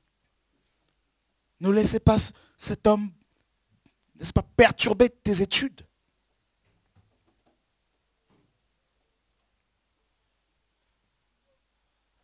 Vous êtes femme. Il y en a, ils veulent avoir des fruits, alors qu'ils ne sont pas encore, euh, ils n'ont pas encore germé. Ils sont encore au niveau de la racine. Ils veulent déjà les fruits. C'est-à-dire, ils veulent avoir des, euh, un, petit copain, une petite copine, euh, se marier, alors qu'ils ne sont pas, ils n'ont pas encore, ils sont pas encore sortis. C'est comme un, un, fœtus qui veut tout de suite un biberon. Il faut d'abord naître. On est d'accord, non? D'autres, ils sont sortis, mais ils veulent les fruits alors qu'il n'y a rien encore. Il faut le temps. Donc là, c'est le passé, là, c'est le présent, les fruits, c'est le futur. D'accord? Donc notre futur représente nos fruits. D'accord? Voilà. C'est pour cela que le futur spirituel, c'est-à-dire le ciel, est le résultat du travail que nous faisons aujourd'hui. C'est pour cela qu'il a dit quoi? Aujourd'hui, si vous entendez sa voix, n'endurcissez pas vos cœurs. Pourquoi aujourd'hui? Pourquoi pas demain? Parce qu'aujourd'hui va déterminer notre futur. Notre futur, ton futur, spirituel ou physique, est déterminé par les actes que tu poses aujourd'hui.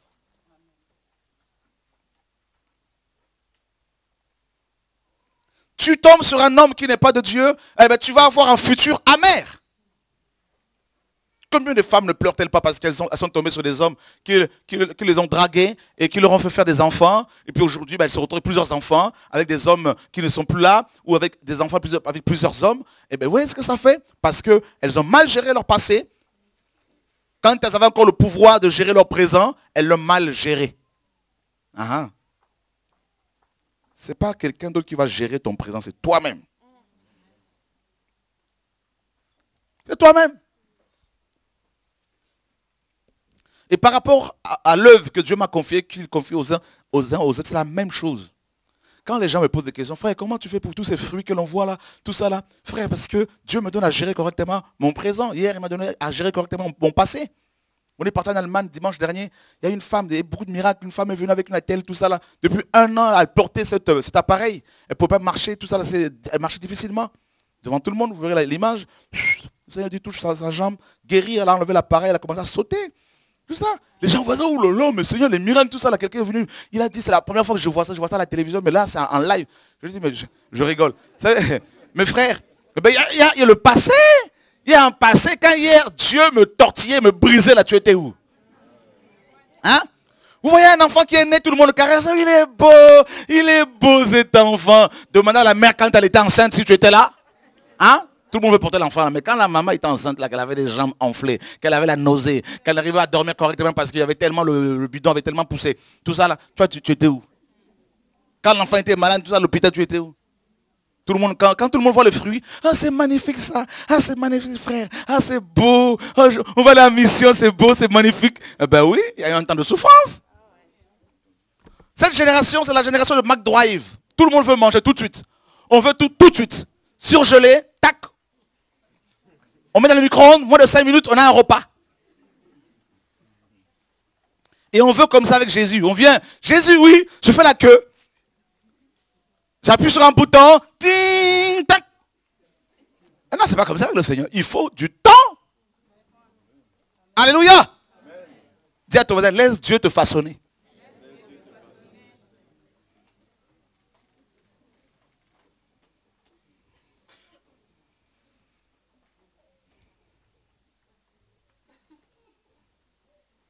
Et qui veut voir la gloire de Dieu? Ouh On va juste lire un passage, Jean 15. Est-ce qu'on peut tous le lire à haute voix?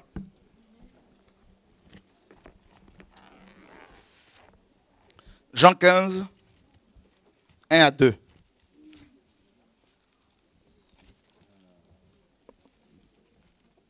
Jean 15, 1 à 2. 1, 2, 3 Je suis le vrai cep et mon père est le vigneron. Tout serment qui est à moi et qui ne porte pas de fruits, il le retranche. Et tout serment qui porte du fruit, il les monte afin qu'il porte plus de fruits. Qui veut porter plus de fruits? Alors apprête-toi, prépare-toi à pleurer. Prépare-toi à, être blessé.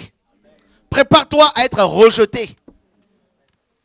À être incompris, incomprise.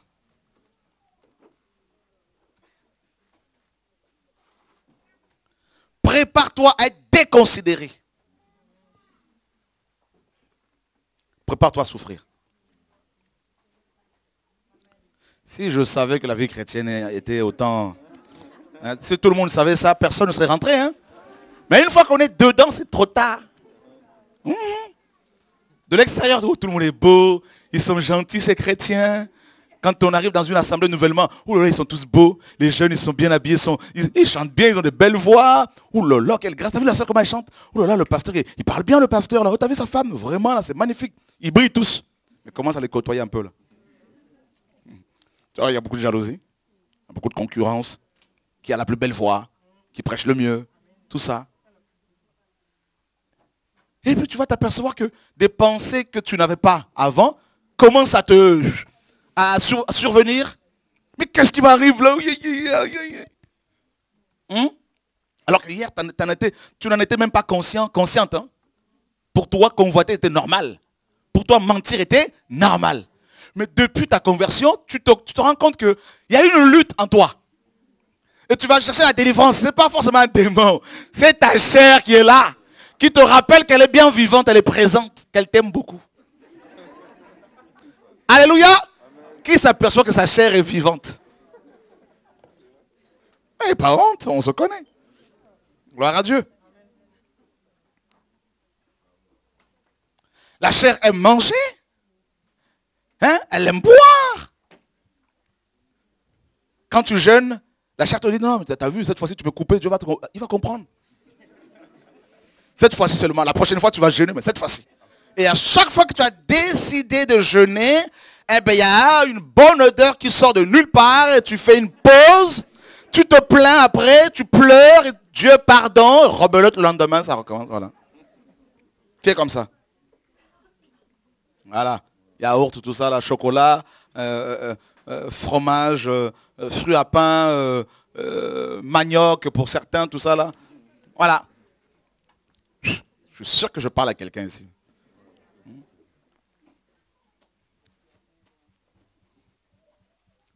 Oh Seigneur, cette fois-ci, je vais prier, Seigneur, réveille-moi à 3 heures du matin.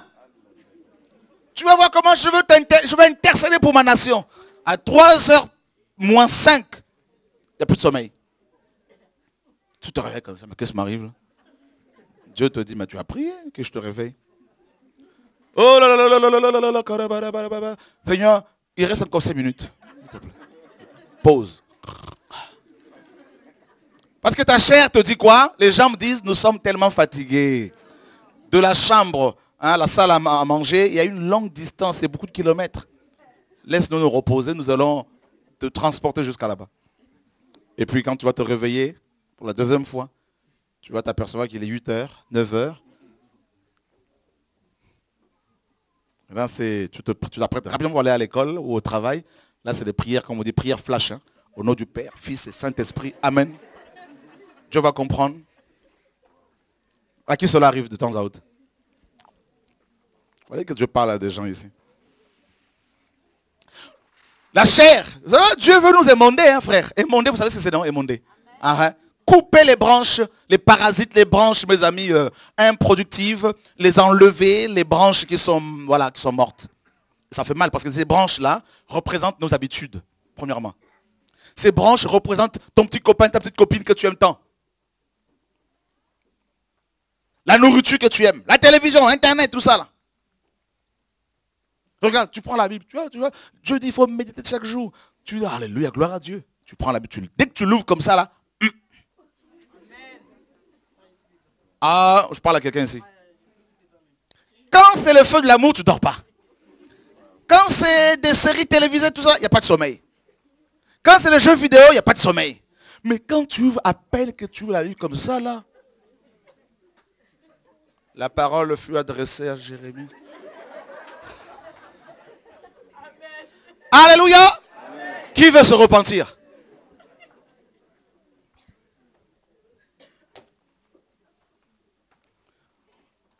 Oh, je me rattrape à l'assemblée, je me rattrape à l'assemblée.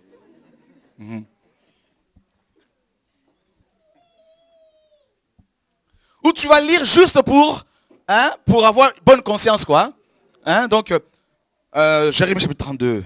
La parole fut adressée à Jérémie, la parole de Yahweh, la deuxième année de Sédésias, roi de Juda. Amen, gloire à Dieu, c'est bon. J'ai médité aujourd'hui, je suis quitte, Dieu. Tu as vu, j'étais honoré. Alléluia C'est ton voisin hypocrite. Mhm. Quand il faut t'alimenter réellement, là, quand tu vois ce beau sandwich là, hein? là tu baves là, petite. Mais quand il s'agit de la parole, là il faut, il faut beaucoup de gymnastique, il faut beaucoup de... C'est grave, hein, mes amis. Là. Oui. Dieu nous aide. En fait, euh, ça fait quelques temps que Dieu veut que je lise euh, la Bible, mais mhm. une pas, enfin un verset spécial. Mhm. Et à chaque fois que j'essaie de lire, je suis énervée, je suis limite déconcentrée, genre un appel, un SMS, Facebook. Je me dis dans cinq minutes je vais le lire, j'y arrive pas. Et quand je dois lire les autres euh, versets de la Bible, j'y arrive facilement. Mais ce mhm. verset, j'arrive vraiment pas à lire, c'est Josué en fait. Ok. C'est ça. Alors, euh, c'est parce que justement, euh, tu, sais ce qui, ce qui laisse, ce qui permet au Seigneur de nous bénir, c'est quoi? De nous guérir, nous délivrer, c'est l'obéissance. Or, l'obéissance, rappelle-moi ton prénom. Alexandra. Alexandra, l'obéissance n'est pas facile. Ce n'est pas une chose facile. Parce que la chair s'oppose à Dieu. Admettons que tu demandes quelque chose au Seigneur. Et Dieu te répond en te disant, lis ce passage-là. Eh bien, Satan sait, également la chair, hein, Satan sait que si tu le fais, si tu obéis, tu seras tellement béni que tu vas bénir les autres. Alors qu'est-ce qu'il fait? Eh bien, il se sert de la faiblesse de nos chairs. Il se sert aussi des gens qui nous entourent, nos amis qui sont parfois charnels. Ils sont même bien qu'ils soient chrétiens parfois.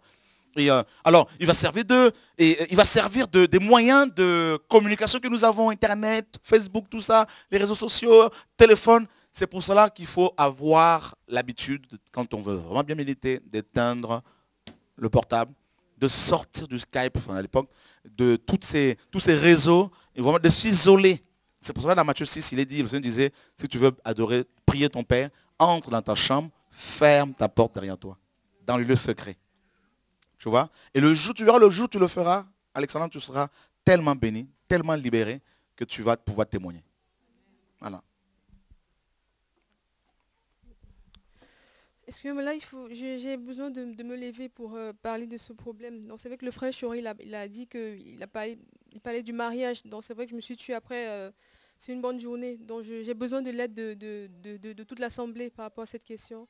Donc le 24 octobre, 24, euh, octobre 2000, 2006, euh, donc ça fait exactement 8 ans que j'ai fait la connaissance du papa de mes enfants. Et ça a été un calvaire. Donc une souffrance, je pense peut-être que je bénis le Seigneur parce que peut-être sans lui, je, ne serais pas venue vers, vers, Jésus.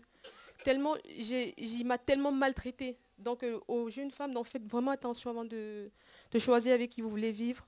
Donc il m'a tellement fait souffrir. Donc il m'a tellement maltraité au point où, en venant à Jésus, ce n'est pas quelqu'un qui m'a dit va prier. Donc je me suis humiliée devant le Seigneur, dit Seigneur, moi je veux la paix. Et venant d'une famille où il y a eu beaucoup de séparations, beaucoup de blessures, lui, il le savait, il savait que je ne voulais pas la séparation. Donc euh, j'étais prête à tout supporter pour que mes enfants ne vivent pas les mêmes choses que moi. Donc euh, je ne voulais pas que mes enfants nous voient. Donc je supportais tout, je supportais tout ce qu'il me faisait, juste pour que mes enfants ne, ne passent pas par le même chemin que moi, les séparations. Donc en fait, après, c'est arrivé. Donc, et ça fait, je suis venue à, Dieu, j'étais dans l'église catholique pendant euh, trois ou quatre mois. Et ensuite, le Seigneur, il m'a dirigé ici, à, Évry. Donc, j'ai reçu une délivrance, deux délivrances. Et depuis, euh, après, on était séparés au mois de, le 24 octobre encore 2000, 2013. Euh, donc, j'ai eu mon appartement, j'étais seule. Mais à chaque fois, quand j'ai demandé au Seigneur, Seigneur, dis-moi la première prière, bien que je, n'étais pas encore baptisée, mon premier jeûne de prière, c'était est-ce que c'est mon homme? Le Seigneur m'a montré que, que, lui et moi, on sera à l'église et qu'on le servira ensemble. Mais je ne sais pas pourquoi, pendant les un an de ma conversion véritable, euh, un an et demi, je m'accrochais à cette pensée. Et à chaque fois, le Seigneur me rassurait. Je me disais, est-ce que c'est de toi? Et à chaque fois que je jeûnais, je priais, me posais la même question. C'était la même, chose. Donc après, je suis venue chez l'apôtre Chora, ça s'est passé. Et euh, depuis, je me dis, Seigneur, on est le 24 octobre, ça fait 8 ans. Et à chaque fois que j'espère, qu'il change. Donc à chaque fois que j'ouvre la porte, que je, j'essaie de, lui tendre la main, son caractère ne change pas. J'ai l'impression que rien ne bouge. J'ai dit, mais Seigneur, montre-moi s'il y a une autre possibilité. On a quatre enfants qui sont là. Et, je, sais que tu n'aimes pas la répudiation, tu n'aimes pas la séparation. C'est vrai qu'il m'a juste doté, il n'y a même pas de mariage et tout. Et quand j'ai pris mon baptême à j'ai dit au Seigneur, euh, voilà, je te donne ma vie, je veux plus de rapport. Donc j'ai plus de rapport avec, il n'y a rien eu. Et au début, il venait à la maison, mais après, le Seigneur a, vraiment mis la séparation. Et je dis, Seigneur, bon, moi, tout ce que je veux, c'est la paix. Je ne veux pas que mes enfants vivent la même chose. Si ce n'est pas le mien, dis-le-moi. Mais à chaque fois que je pose la question au Seigneur, j'ai des songes où il est là dans la... qu'on est ensemble. Donc je, suis fatiguée. J'ai dit au Seigneur, il n'y a pas de souci, je peux vivre sans mari, mais je sais que tu aimes, tu aimes euh, le mariage, tu, tu, aimes la famille, tu aimes la restauration. Le Seigneur s'est révélé à moi comme l'époux. J'ai dit, oui Seigneur, je suis tranquille, toi et moi. Mais à chaque fois, il me pousse à aller vers lui, il me pousse à aller vers sa famille, vers sa famille, il me pousse à aller vers lui. Mais, et, quand j'y vais, je vois qu'il n'a pas changé. Je dis, Seigneur, enlève-moi, enlève-moi. C'est vrai peut-être que je me dis quelque part, tu t'es servi de lui pour t'amener à moi. Je suis à toi maintenant, mais je, n'en peux plus. Je dis, Seigneur, je n'en peux plus. J'ai l'impression que j'ai je me dis c'est la pire erreur de ma vie. Après, c'est grâce à lui que j'ai connu. c'est dans la souffrance que je suis venue vers, le Seigneur. Et j'ai dit Seigneur, c'est vrai que tu m'as montré, tu me montres à chaque fois, mais aujourd'hui, je suis fatiguée. Tu veux qu'on prie pour ça, c'est ça? Oui, je, veux qu'on prie pour ça. Je, ne sais pas ce que je dois faire ou rester que le. Parce que je, c'est vrai que le Seigneur change les cœurs, mais lui, ça ne va pas. J'ai l'impression que lui, il est. D'accord. Je l'ai compris. Alors, vous voyez justement les jeunes. Voyez ce type de cas. Voilà pourquoi vous avez besoin d'être correctement conseillé et surtout d'écouter. Voilà une femme qui est tombée sur un homme, il lui a fait faire quatre enfants, et ensuite, séparation. Dites-vous maintenant, si Dieu ne lui fait pas grâce, quel est cet homme qui va accepter d'épouser une femme qui a quatre enfants? Et admettons qu'elle ait des, des, filles. On connaît des cas comme ça, où euh, il y a eu séparation, et que la femme se retrouve avec plusieurs enfants, et qu'elle se mette avec un autre homme, qui n'a pas l'amour de ses, enfants, des enfants de sa femme, et se mettre à les violer. On en connaît des cas comme ça. C'est pour cela le conseil, quand on, on, vous donne des conseils, jeunes gens, jeunes hommes, jeunes frères, jeunes filles, je sais que ce n'est pas facile, à cause des tentations qu'il y a autour de vous, dans ce monde dans lequel nous sommes, la pression qui s'exerce sur vous, les amis à l'école, au travail, qui vous poussent, qui vous pousse au péché. Ce n'est pas facile, mais il faut gérer correctement votre présent en priant, en méditant la parole, en craignant Dieu, parce qu'il est question de votre futur. Vous êtes, n'est-ce pas, des architectes de votre présent, de votre futur, pardon, avec le Seigneur Yeshua, bien sûr. Paul disait, j'ai posé le fondement comme un sage architecte, que quelqu'un d'autre prenne garde de la manière dont il bâtit dessus. Et c'est une souffrance terrible parce que là, c'est pratiquement à vie. C'est dur. voyez? Donc c'est pour cela que on va prier pour ça tout à l'heure, il n'y a pas de problème. Prenez garde. Allez devant Dieu. Et euh, s'il y a des projets par rapport au mariage, allez voir aussi vos parents, si euh, euh, écoutez le conseil de vos parents, s'ils aiment le Seigneur, s'ils sont dans le Seigneur, et restez obéissants aux parents. J'insiste là-dessus. Si vous avez une mère qui est chrétienne, qui aime le Seigneur, ou même si elle n'est pas chrétienne, mais si elle peut vous donner des bons conseils, qui ne vous éloignent pas du Seigneur, il faut ouvrir l'oreille. Il faut bien ouvrir ton oreille. Hein, euh, voilà. Et, euh, euh, ouvrez bien les oreilles aux conseils de, des parents qui aiment le Seigneur, qui ont de l'expérience, qui ont vécu avant vous, qui peuvent vous prévenir, n'est-ce pas Vous éviter les dangers. Ecclésias nous dit, jeune homme, Jeune femme également, réjouis-toi. Mène ta vie comme tu veux. Mais sache pour tout cela que Dieu t'appellera en jugement. On parle de l'émondage. Laissez Dieu vous émonder. Laissez Dieu vous travailler. Laissez Dieu façonner nos cœurs, euh, vos cœurs. Et, euh, euh, voilà. Et plus vous allez laisser le Seigneur vous façonner, vous travailler, plus vous allez expérimenter sa joie. Si un homme vient, par exemple, admettons que le Seigneur vous dise, voilà, cet homme est ton homme.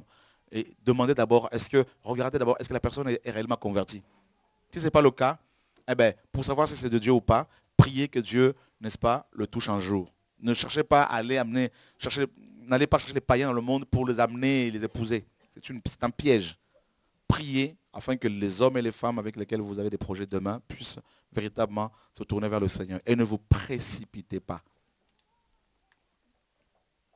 D'accord? Dans les choses. Ne vous précipitez pas. Allez toujours voir Dieu. Toujours. Seigneur, qu'est-ce que tu dis? Insistez. T'en as qui viennent et ils se disent chrétiens juste pour vous avoir. On en a vu, hein Juste pour ça. Et une fois que vous êtes rentré dans le mariage, c'est fini, c'est trop tard. Vous allez découvrir le visage de la personne. Ça se construit. L'avenir se construit. Comme une maison. On ne veut pas le construire euh, précipitamment. Il faut s'asseoir, calculer la dépense. D'accord? Est-ce que j'ai de quoi terminer cette maison? Est-ce que j'ai l'âge présentement? Ou est-ce que j'ai encore le temps? Eh bien, Laissez, faites confiance au Seigneur, ne vous précipitez pas. Si l'homme t'est destiné, même si tu n'as pas euh, l'âge aujourd'hui, mais Dieu fera en son temps, mais toi, continue à suivre ton Dieu normalement. Ne te laisse pas perturber par ce que, cette relation, parce que ça peut tuer ta vie chrétienne. D'accord? Et ensuite, vous n'aurez plus que vos yeux pour pleurer. Hein. Ah oui? Les mondages, Dieu veut que nous portions encore plus de fruits. Alors il va venir, il va regarder dans nos vies. Est-ce qu'il y a encore le mensonge? Est-ce qu'il y a encore le péché? Est-ce qu'il y a encore le doute? Il va enlever. Est-ce qu'il y a encore des amis qui ne sont pas corrects? Eh ben, Il va enlever. Et ça fait mal. Parce qu'on est, parce qu'on est dans les sentiments parfois là. On peut être blessé. Quand il y a des séparations comme ça. Eh ben, c'est nécessaire.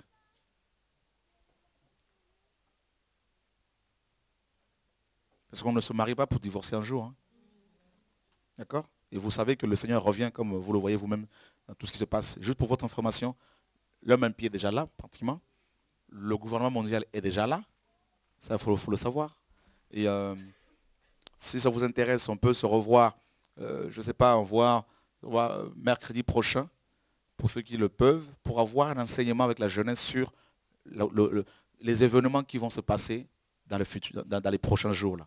On va parler de la prophétie biblique que chacun amène son cahier, son stylo. Il y aura des questions à poser. Si vous avez des gens à inviter, invitez-les, mais venez dans l'esprit de recevoir des enseignements par rapport à la fin de temps. Qu'on décortique. Qu'on va prendre, on peut même prendre toute la journée si Dieu le permet. La fin de temps, voyez Donc, comment ça va se passer? Comment l'homme impie va asseoir son, gouvernement? Comment euh, l'Armageddon, la troisième guerre mondiale va se dérouler? Tout ça.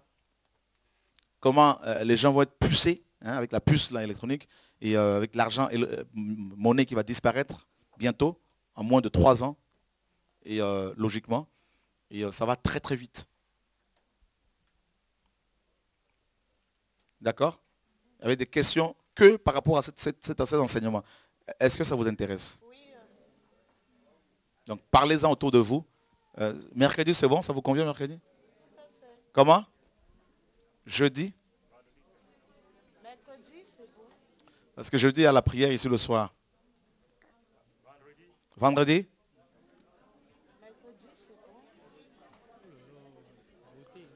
Qui veut vendredi? On peut voter. Nous sommes une assemblée. Comme ça, vendredi toute la journée, à partir de quelle heure vendredi? Mercredi?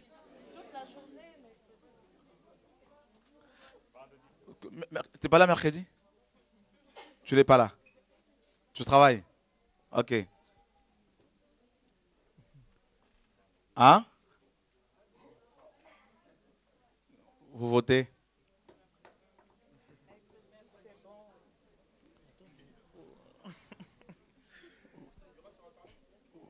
Là, on est en direct aussi. Ouais. Ah ouais. Et euh, sinon, on peut passer la nuit ensemble. Veillez, c'est bon, la veille Quel jour? Vendredi?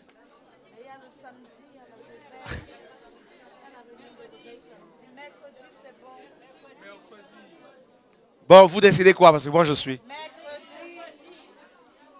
Ceux qui sont pour mercredi. Tu finis à quelle heure le travail?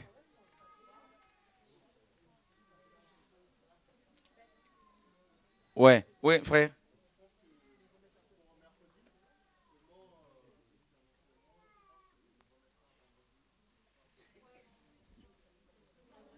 Comme ça, samedi, on enchaîne avec... Euh, on peut faire une espèce de... Ah ouais, retraite, là, ça va être chaud, là.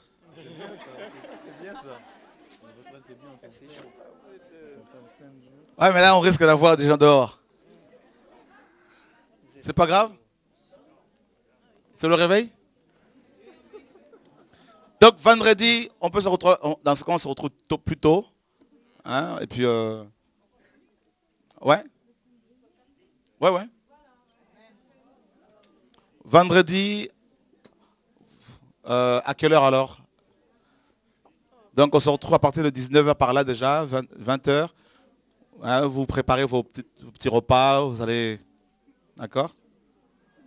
C'est bon 20h, ça, ça, convient tout le monde ou comment? On démarre l'enseignement à 20h, adoration, louange, 20h on, démarre. Julie, tu es invité d'office. Hein? Ok. Viens mon frère Sylvain.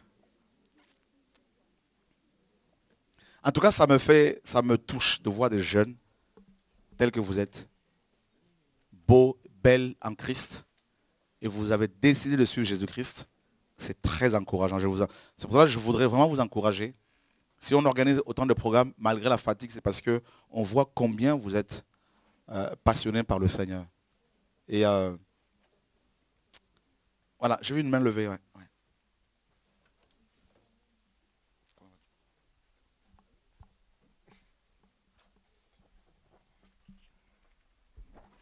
Moi, je voulais savoir, depuis, euh, enfin, depuis quelques temps, le Seigneur il parle beaucoup de la jeunesse, de, la jeunesse, de la jeunesse. Et, euh, en fait, c'est comme si on, sent qu'il veut faire quelque chose, mais, mais c'est quoi en fait exactement? C'est quoi en fait qu'il attend de, de la jeunesse Ok. Et vous savez, souvent la jeunesse est, est comparée à, dans nos assemblées malheureusement, beaucoup de jeunes la jeunesse est comparée à l'incompétence. Hein, souvent, on croit que la jeunesse est synonyme d'incompétence. Donc, du coup, on va, euh, pour bien répondre à ta question, hein, on va dire, par exemple, bon, vous êtes jeune, vous allez faire des réunions qu'avec les jeunes, vous allez faire vos réunions entre vous et euh, n'allez pas nous apporter la parole à nous qui sommes parents, tout ça, vos parents. C'est terrible de, voir les choses comme ça. Dieu veut se servir des jeunes que vous êtes pour apporter un vent nouveau dans les nations que personne ne vous minimise. D'accord? Et, euh, et euh, que personne, ce que Dieu veut, ce que Dieu attend de vous, eh bien, ce que vous apportiez ce message qui dit que, qui annonce son retour imminent. D'accord? Et euh, d'abord par votre comportement, étant jeune, comportement correct, approprié, comportement décent, qui honore Dieu, votre manière de vous habiller, pas comme les autres jeunes qui s'habillent sexy. Votre manière de parler, d'abord, c'est d'abord au niveau du cœur hein, que les choses se passent. Un changement profond en vous. Et ensuite avec vos amis, vos frères et sœurs, vos parents. Et euh, vous êtes sur des réseaux sociaux, on le voit ici et là, comme vous le faites certainement, partager. Et pourquoi pas aussi avoir des temps de, avec des, aller hein, sur des, dans les gares, euh, dans les trains, bus, tout ça, pour proclamer la parole comme on le voit ici avec beaucoup de jeunes qui le font. Allez évangéliser, avec des guitares, des jeunes qui le font ici et là, qui sortent comme ça. Et quand il y a des missions, partir quand Dieu permet pour aller apporter la parole. Et euh, il y a une mission qu'on prépare euh, pour aller euh, témoigner à la sortie de la Bible, hein, pour aller témoigner en Afrique ce que Dieu a fait, aller apporter ces Bibles aux, autorités notamment. Et on va commencer, on va voir, il y a le Gabon. Ça on va s'organiser pendant les vacances scolaires. On va donner des dates à l'avance, ça vous intéresse. Vous pouvez vous inscrire. Si on est plus de 10, les billets coûtent moins cher. Donc euh, pour l'hébergement, on, va faire comme dans le passé. On va louer des grandes euh, maisons là-bas. La dernière fois, on est parti... Euh, c'était en quelle année? On est parti avec 30, 33 jeunes au moins En 2010. Et on avait loué une grande maison, on a évangélisé partout, c'était beau, c'était magnifique. on a fait des émissions à la, à la télé, tout ça. Ça vous intéresse tous ces programmes-là qu'on va Hein? Voilà, on va planifier tout ça. Donc oui, Dieu, Dieu ce qu'il attend de vous, c'est de vivre la parole, d'honorer vos parents et de proclamer l'évangile partout. Donc justement, Sylvain qui est avec nous, quel âge as-tu aujourd'hui Sylvain? Excuse-moi. 33. 33 ans. À quel âge tu t'es converti? Euh, Ça fait 10 ans. À 23 ans. Il est en, tu es en prison hein? Oui, Et je, t'ai dit, de toute façon, tu le diras, tu le diras tout à l'heure, merci. Et euh, donc, il y a beaucoup de jeunes et euh, vous remarquerez que nous ne sommes pas une église. On, est, on se considère comme des, voix qui crient, hein, qui crions, nous crions ici et là. Mais nous voulons aussi encourager les jeunes. Vous avez des, comme Herman que tu connais, d'autres jeunes qui sont jeunes mais qui sont, euh, voilà, prédicateurs de l'évangile, tout ça. Donc oui, ce que tu attends de vous, c'est ça? Ouais. Ok, on te donne le micro. J'ai dit moi ça m'intéresse parce que la semaine dernière j'avais fait un songe où j'étais en train de j'étais en train de distribuer des Bibles en fait. Amen. Des Bibles et c'est là maintenant que je viens de comprendre en fait. C'est ça. Donc on va partir justement avec une voir une trentaine de personnes euh, en Afrique. Il y a le Gabon euh, et la RDC, les deux Congo. Euh, donc voilà. Et on va aller comme ça pour aller faire des émissions et distribuer cette parole. Bonjour. moi il y a trois semaines, j'ai mhm. fait un songe mhm. et on était en Amazonie, mhm. en train de prêcher à des gens, euh, des, enfin des gens, ils étaient dans la forêt, ils parlaient pas français, ils parlaient une autre langue, on leur parlait de Jésus, mais ils pleuraient, enfin je sais pas comment dire, ça les touchait. Juste qu'on dise Jésus, juste le mot Jésus, enfin le nom Jésus, ça les touchait. Et quand je me suis réveillée, je me suis dit, euh, l'Amazonie c'est loin quoi. Mhm. Ils comprennent pas français, euh, ils n'étaient pas du tout, pas civilisés, rien du tout. Mhm. Bah, c'est ce que Dieu attend de nous. Voilà. Il y aura des missions. D'ailleurs, là, il y a deux jeunes, il y a, deux, jeunes sœurs qui partent en mission euh, au Mexique dans le cadre de notre association, le Pain quotidien qui s'occupe des orphelins. Et euh, donc, elles partent en mission là-bas pour aider les orphelinats là-bas. Donc, euh, il y a des missions comme ça, si ça vous intéresse, oui. Le fait de sortir, de bouger un peu, ça s'encourage. Donc, oui, Dieu a besoin de nous et il compte sur vous. Amen. Donc, Julie, est-ce que c'est possible de d'interpréter un chant, un des chants que le Seigneur t'a donné pour la gloire du Seigneur. Et avant cela, nous voudrions euh, euh, présenter nos condoléances à une sœur que, que j'aime beaucoup, qui, euh, qui, bien qu'étant jeune, s'est tournée vers le Seigneur. C'est une Hollandaise, c'est une Hollandaise. Et, et elle vient de perdre sa maman. Et je l'ai appris il n'y a pas longtemps. Ça m'a tellement. Elle m'avait dit que sa maman était malade était partie en Afrique, en, Angola. Elle est tombée malade là-bas et puis elle est décédée. Et euh, ça m'a beaucoup touché, peiné. Et, euh, et, comme la parole nous dit de nous réjouir avec ceux qui se réjouissent, de pleurer avec ceux qui pleurent. Et euh, voilà, donc on veut vraiment la, la, Elle est restée seule avec sa. Avec ton frère, ta soeur À deux. Est-ce que nous pouvons faire une offrande pour elle, pour l'aider? C'est possible Jeunes gens? C'est ça aussi l'amour? D'accord? Gloire à Dieu. Nous allons prier pour elle en même temps. Est-ce qu'on peut... Voilà. On va... Est-ce que quelqu'un peut aller dans le bureau pour prendre ma, sacoche Que je donne aussi mon, offrande? Ça fait mal. Hein? Et... Euh, j'ai perdu mes parents et je peux vous dire que quand on est jeune comme ça, se retrouver avec, avec sa, petite soeur à deux, à gérer, c'est pas facile. Et l'église, c'est tout ça aussi, c'est participer, pas forcément donner des offrandes pour, pour euh, payer les, charges et tout ça, mais aider. Y a-t-il quelqu'un qui, est, avec nous ici qui n'a pas à manger, qui n'a vraiment pas à manger Qui c'est qui peut lever sa main? Il n'y a personne. C'est qui? T'as pas à manger? Ok. À la maison, c'est ça? Ok. Il y a des courses à côté. Tu pourras partir avec. D'accord? Tu veux, tu veux quand même aider, c'est bien.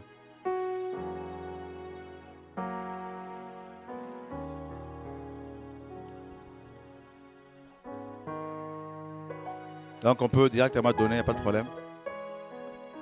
Nous voulons vous apprendre ce que c'est l'église. C'est quoi l'église? Comment nous devons fonctionner? Voilà, demain ce sera ton tour. Gloire à Dieu.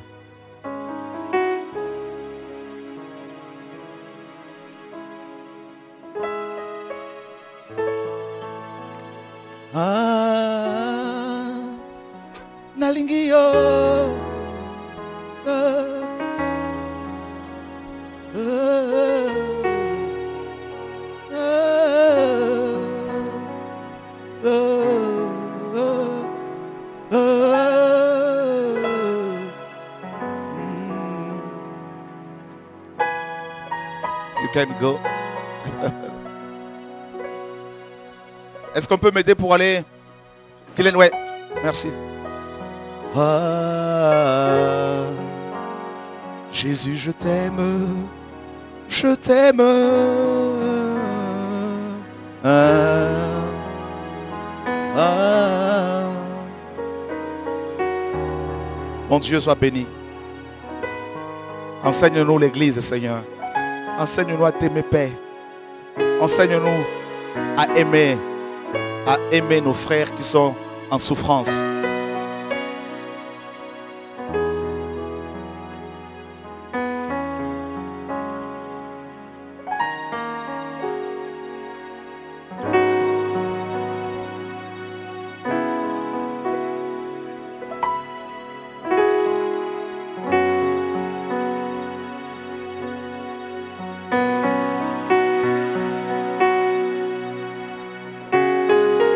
Venir, s'il te plaît?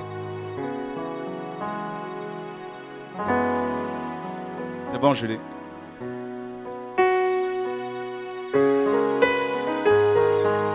Merci au Seigneur, merci à chacun de vous. Le frère Sylvain, Pasteur Sylvain est un jeune, comme vous savez, qui vient de loin. Dieu est en train de l'appeler à son service. Et avec des frères qui sont avec lui, ils sont en train de gérer, diriger une assemblée. Il y a beaucoup de jeunes, donc ils sont venus de, de Niort pour nous encourager. Sylvain, c'est bon? Ah, tu es là.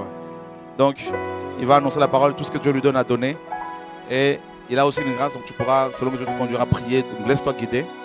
Et euh, je sais que vous, vous serez bénis. Amen. Vendredi, à quelle heure? Et ceux qui sont, parmi vous, ceux qui sont calés au niveau de l'orthographe et qui, qui craignent le Seigneur, à la fin, comme on va finir avant 18h30, et euh, si ça vous intéresse, venez nous faire signe de l'autre côté là-bas. Guylaine est où? Et euh, Guylaine qui est là, tu peux Ouais, Comme ça, allez voir Guylaine.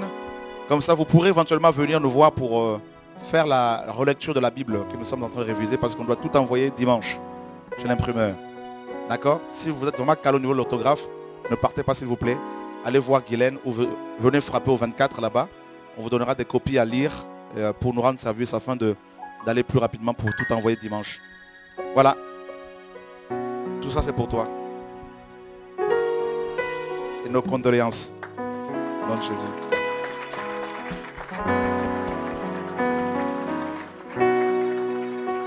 Voilà, donc tu peux aller avec au bureau là-bas et gérer tes affaires. Ça c'est au nom de Jésus-Christ de Nazareth. Amen.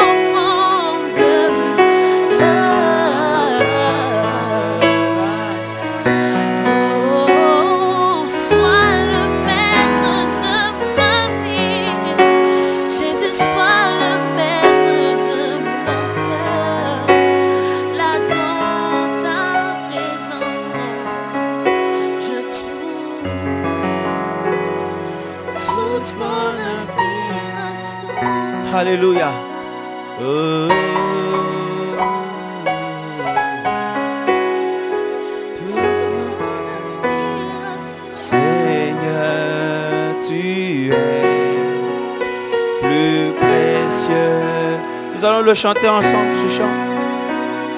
Seigneur, nous sommes là pour toi, Seigneur Jésus. Tu connais nos cœurs, Seigneur, la soif que nous avons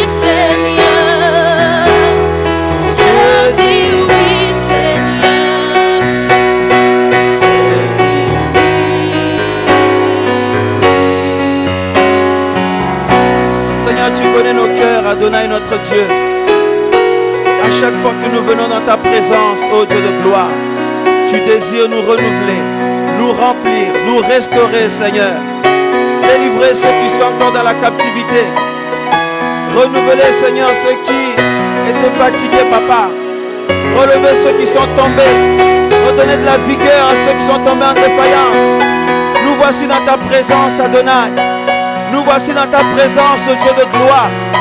Tu es vivant, Jésus. Tu es vivant, Jésus. Merci pour ta parole aujourd'hui, Papa. Ta parole qui est la vie. Ta parole qui est la vie. Nous prions, Seigneur mon Dieu, que ta volonté s'accomplisse dans nos cœurs, dans nos vies. Au nom de Jésus. Au nom de Jésus. Au nom de Jésus.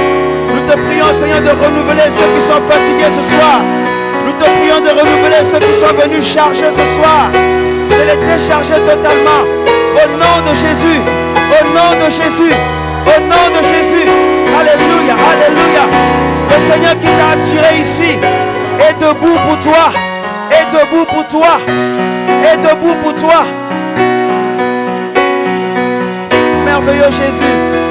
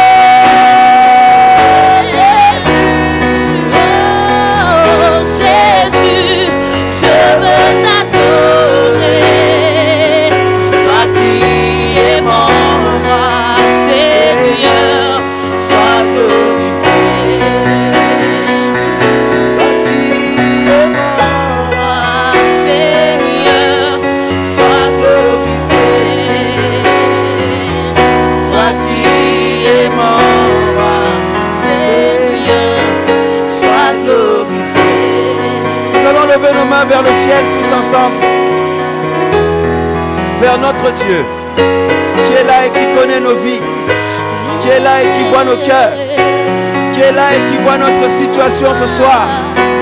Merveilleux Jésus, nous voici dans ta présence. Oh Dieu d'Israël, tu es grand Seigneur. Seigneur, je te prie pour cette jeunesse ce soir, oh Dieu de gloire. Je te prie pour cette jeunesse ce soir, Adonai. Oh Père de gloire, connais ce que chacun vit, tu connais ce que chacun traverse. Tu vois, Seigneur, l'inten- l'intensité des combats. Tu vois l'intensité, Seigneur, que l'ennemi, Seigneur, met sur le combat. Tu vois, Seigneur, la faiblesse de ton peuple. Tu vois ceux qui sont fatigués. Tu vois ceux qui tâtonnent. Adonai, je prie mon Dieu, mon roi, au nom de Jésus, au nom de Jésus, que ton Esprit Saint puisse, Seigneur mon Dieu, agir au milieu de ton peuple, agir au milieu de ton peuple, que ceux qui étaient fatigués soient renouvelés, que ceux qui étaient fatigués soient renouvelés, au nom de Jésus, au nom de Jésus, parce que je sais une chose, nous ne pouvons pas venir dans ta présence, Seigneur, et repartir tel que nous sommes venus. Parce que je sais une chose, nous ne pouvons pas venir dans ta présence et repartir tel que nous sommes venus. Seigneur, tu as prévu quelque chose pour nous ce soir. Tu as prévu quelque chose pour chacun ce soir. Oh Dieu de gloire, merci pour l'action de ton esprit. Merci pour l'action de ton esprit. Merci pour l'action de ton esprit. Merci pour l'action de ton esprit. Merci pour l'action de ton esprit. Au nom de Jésus. Seigneur, lorsque tu nous as appelés, il n'y avait personne pour te conseiller. Lorsque tu nous as choisis, il n'y avait personne pour t'interposer. C'est toi, Seigneur, qui nous as appelés. C'est toi qui as choisi chacun de nous ce soir. Je prie, mon Dieu, que ton esprit, Seigneur, soit répandu en ce lieu. Seigneur, que la puissance de la résurrection soit répandue en ce lieu. Au nom de Jésus, que tes fils et tes filles ici présents reçoivent encore ton feu ce soir. Reçoivent encore ton feu ce soir. Reçoivent encore ton feu ce soir. Au nom de Jésus, voici l'onction de Dieu. Voici l'onction de Dieu. Voici l'onction de Dieu. Aidez-les, aidez-les, aidez-les. Voici l'onction de Dieu sur vous. Alléluia. Le temps est accompli, dit l'Éternel. Le temps est accompli, dit l'Éternel. Le temps est accompli, dit l'Éternel. Mes voix se lèvent. Mes voix se lèvent. Ce que Dieu appelle comme des voix. Ce que Dieu appelle comme des voix. Le feu de Dieu est sur vous.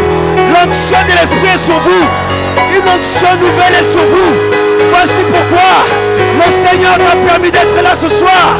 Cette réunion était combattue. Le Seigneur a quelque chose pour toi. Voici l'onction de Dieu. Voici l'onction de Dieu. Aidez-les, aidez-les, aidez-les, aidez-les. Tu vas prier comme avant. Tu vas prier à nouveau comme avant. Tu vas prier à nouveau comme avant. Au nom de Jésus. Au nom de Jésus. Au nom de Jésus. Au nom de Jésus. Alléluia. Alléluia. On y va, Julie. Oh, Alléluia. Le Seigneur t'a attiré ici ce soir. Tu étais combattu avant de venir ici. Tu étais combattu avant de venir ici. Le Seigneur t'a attiré ici pour te renouveler, pour te libérer, pour te restaurer et pour te rassurer aussi qu'il marche avec toi, qu'il marche avec toi, qu'il marche avec toi. Nous t'adorons.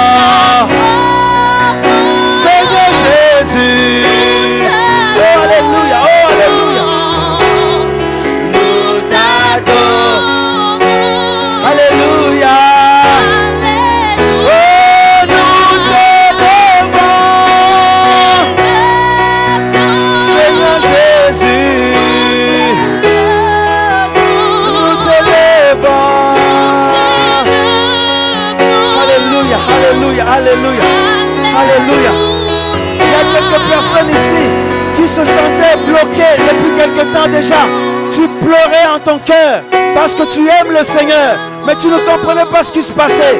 Le Seigneur t'a permis d'être là aujourd'hui parce qu'il est en train de briser ses chaînes.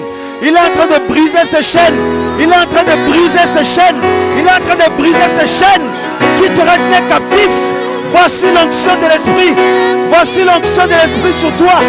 Au nom de Jésus. Parce que tu as ouvert ton cœur à la parole de Dieu.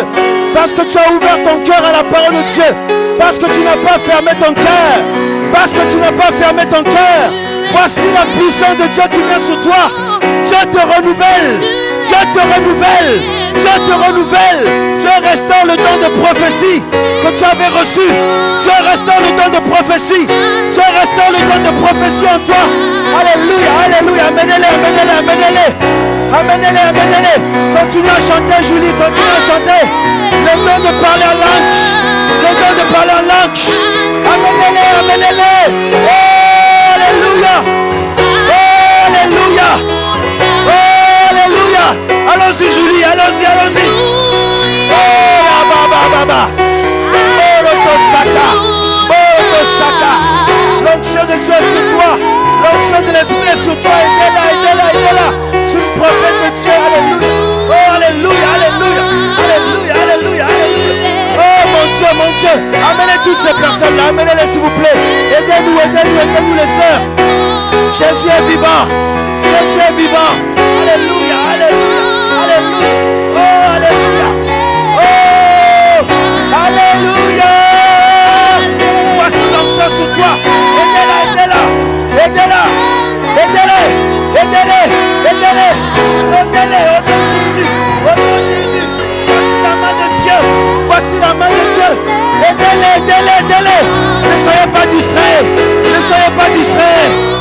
Temps de l'esprit.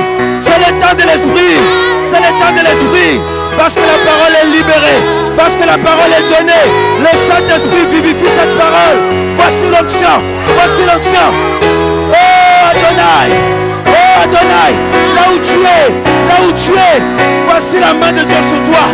Voici la main de Dieu sur toi. Parce que tu as ouvert ton cœur à la parole de Dieu. À la parole de Dieu. À la parole de Dieu. Lorsque la parole de Dieu est libérée. Lorsque tu reçois cette parole. Lorsque tu reçois cette parole. L'Esprit de Dieu. L'Esprit de Dieu te saisit. L'Esprit de Dieu te saisit. L'Esprit de Dieu te saisit. L'Esprit de Dieu te saisit.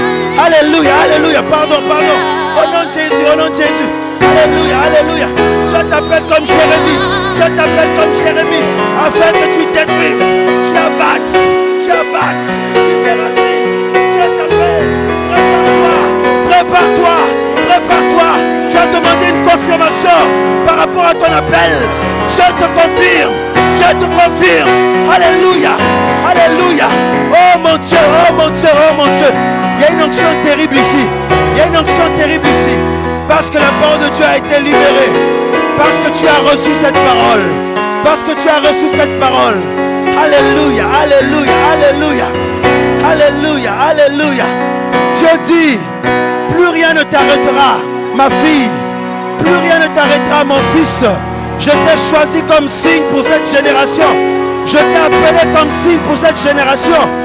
Dieu te dit, ceux qui te combattent, ceux qui te combattent, ceux qui te combattent seront confondus, Dieu dit. Dieu dit, reste dans le calme et le silence. Reste dans le calme et le silence. Parce que je combats pour toi. Je combats pour toi. Ne vois-tu pas ma fidélité, mon enfant? Ne vois-tu pas ma fidélité, mon enfant? Ne vois-tu pas ma fidélité, mon enfant? Ne vois-tu pas ma fidélité, ma fille? Je te dis, j'ai vu ton combat. J'ai vu ton combat. Dieu dit, je suis en train de te forger. Je suis en train de te forger. Je suis en train de te forger. Parce que j'ai décidé, j'ai décidé d'accomplir une œuvre puissante avec toi. Une œuvre puissante avec toi. Je te prépare. Je te prépare. Alléluia. Ma gloire grandit de plus en plus en toi. Ma gloire grandit de plus en plus en toi. Alléluia. Je te libère en plus.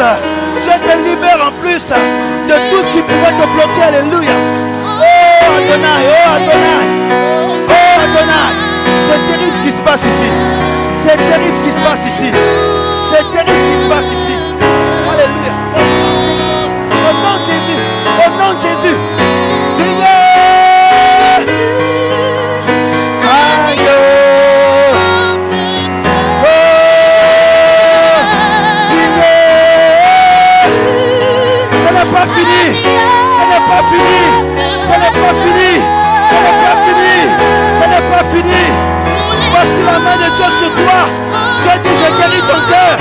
Guéris ton cœur ce soir. Je guéris ton cœur ce soir. Alléluia. Alléluia. Oh Adonai. Oh Dieu. Dieu. Il y a une de sur vous ici. Levez vos mains. Levez vos mains. Levez vos mains. Voici la puissance de l'Esprit. Voici la puissance de l'Esprit. Voici la puissance de l'Esprit sur vous.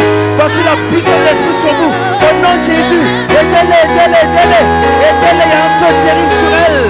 Il y a un feu terrible sur elle. Ce sont des appelés de Dieu ici. Il y a une onction nouvelle sur vous.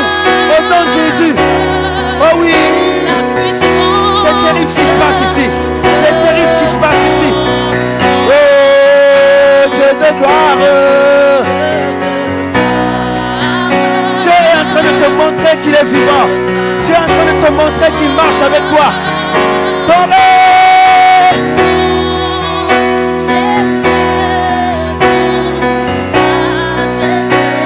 Lèvres. Je célèbre.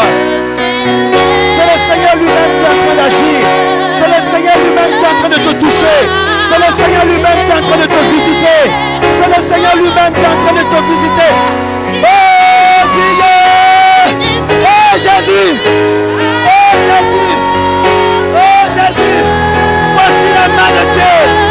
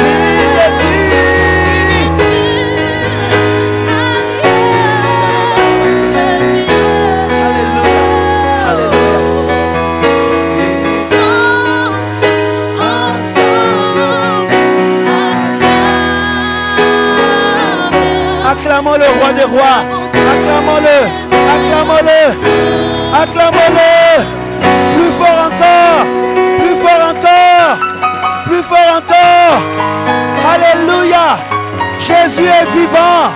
Jésus est vivant. Il est ressuscité pour toi. Il est ressuscité pour toi. Il est ressuscité pour toi. Alléluia. Oh, merci Seigneur. Oh, merci Seigneur. Oh, merci Seigneur. Oh, merci Seigneur. Lorsque sa parole est libérée dans la vérité, son Esprit Saint amène la vie. Son Esprit Saint amène la vie. Parce que là où Dieu règne, il y a la vie. Là où Dieu règne, il y a la vie. Et il y a la victoire. Au nom de Jésus. Alléluia. Alléluia. Alléluia. Tu es merveilleux, Seigneur. Tu es merveilleux, Seigneur. Tu es merveilleux, Seigneur. Tu es merveilleux, Seigneur. Tu es merveilleux, Seigneur. Tu es merveilleux, Seigneur. Alléluia. Oh, Alléluia. Il est là, le Seigneur. Il est là, le Seigneur. Il est là, Jésus. Il est là, Jésus, pour te libérer. Pour te libérer. Pour te libérer. Sors d'elle, l'esprit impur. Quitte-la. Tu ne peux pas résister à la gloire de Dieu. Ceux qui ont des possessions démoniaques, le Seigneur est en train de vous rendre libre là où vous êtes. Le Seigneur est en train de vous rendre libre là où vous êtes. Je vous dis, frères et sœurs, quand la parole de Dieu est libérée telle qu'elle est, quand elle est reçue avec un cœur ouvert, le Saint-Esprit amène la vie. Et quand il y a la vie de Dieu, les esprits impurs quittent les corps d'eux-mêmes. Au nom de Jésus. Au nom de Jésus. Au nom de Jésus. Le Seigneur te libère de ses maris de nuit. Le Seigneur te libère de ce mari de nuit. Le Seigneur te libère de ce mari de nuit. Tu étais fatigué. Tu étais fatigué. Tu avais tellement honte. Tu avais tellement honte. Comment en parler? Comment expliquer cela? Mais Dieu voyait ta souffrance. Le Seigneur te libère ce soir. Le Seigneur te libère ce soir. Il dit, ta souffrance est terminée, mon enfant. Ta souffrance est terminée. Je te libère. Je te rends libre. Alléluia. Alléluia. Alléluia. Alléluia. Alléluia. Alléluia. Ces démons qui te poussaient tout le temps au péché. Ces démons qui te poussaient tout le temps à faire n'importe quoi. Dieu t'en libère. Dieu t'en libère totalement. Totalement. Totalement. Totalement. Alléluia. Alléluia. Alléluia. Merveilleux Seigneur. Merveilleux Seigneur. Merveilleux Seigneur. Et le Seigneur répand sur toi son amour. Sur toi son amour. À partir de ce soir, ta marche avec le Seigneur va changer. Au nom de Jésus-Christ. Au nom de Jésus-Christ. Au nom de Jésus-Christ. Au nom de Jésus-Christ.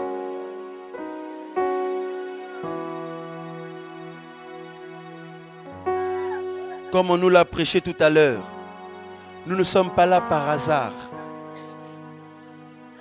La parole de Dieu a trouvé la foi dans nos cœurs et nous sommes le choix de Dieu. Celui qui a parlé le premier pour ta vie.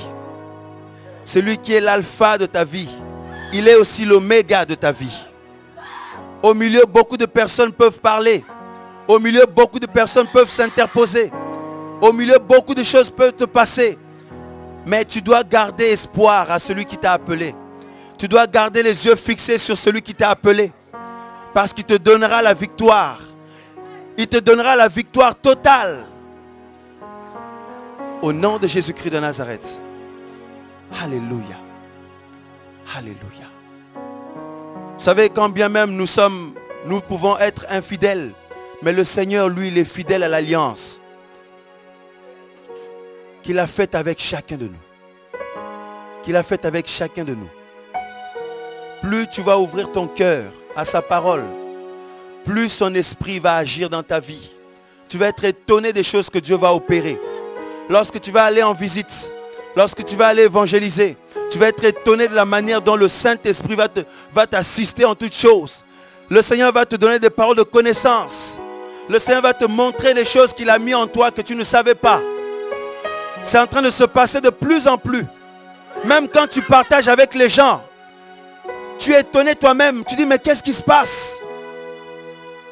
Mais qu'est-ce qui se passe? Et ça te donne de plus en plus la crainte de Dieu.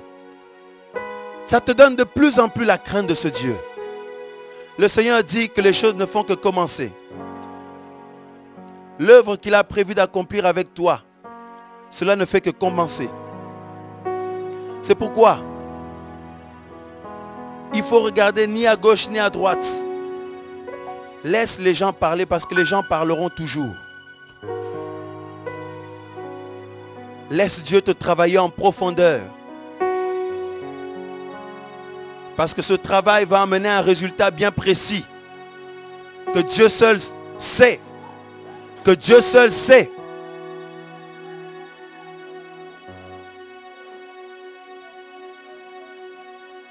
Le Seigneur veut voir le degré de ta foi. Tu as l'impression qu'il n'est plus là alors qu'il est là avec toi. Il est là avec toi.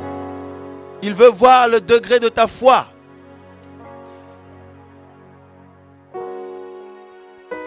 Cela est lié à ton appel, à ce qu'il veut faire avec toi. Il faut qu'il te prépare d'abord, afin que tu sois en mesure de recevoir sa grâce et d'être efficace. Alléluia. Alléluia. Alléluia. Beaucoup de personnes étaient venues ce soir étant désespérées et demandant au Seigneur de leur confirmer s'il est toujours là avec eux. S'il marche toujours avec eux.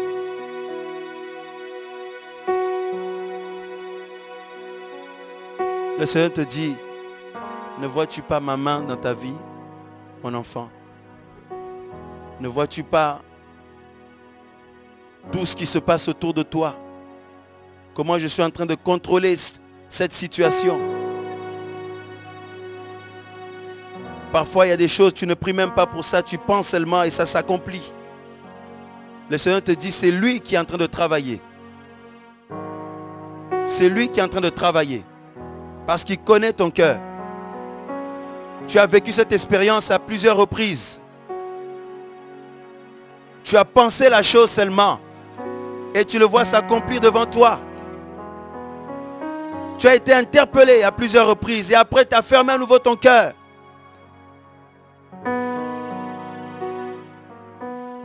Tu dois comprendre que le Seigneur a besoin de travailler en toi. Parce que avant qu'il puisse avoir les fruits, il faut qu'il y ait un travail qui soit effectué au plus profond de ton cœur.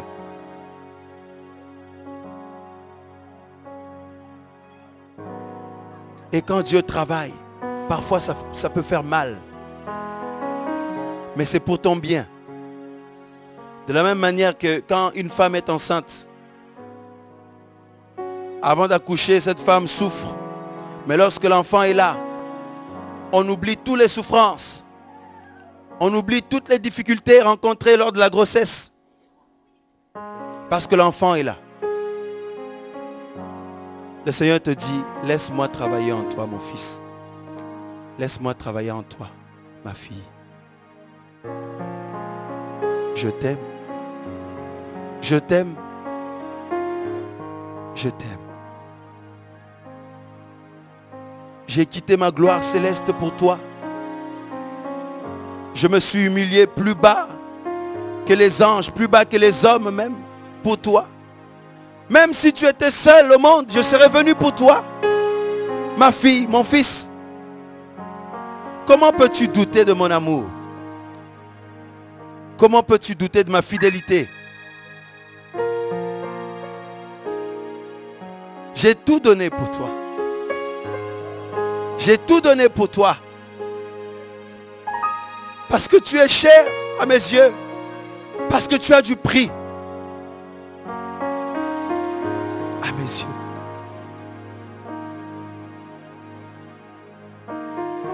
Je suis en train de te conduire quelque part.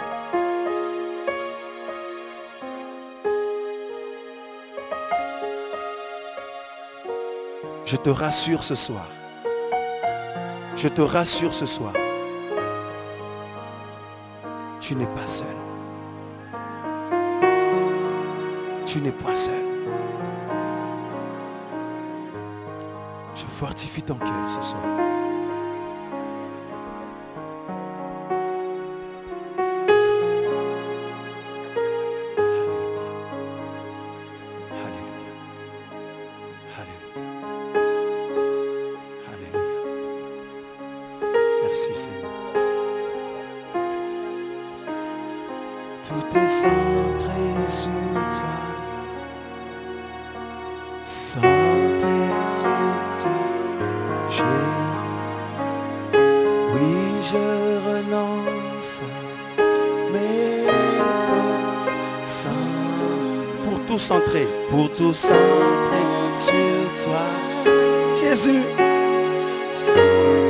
Veux réaliser à quel point tu m'as aimé.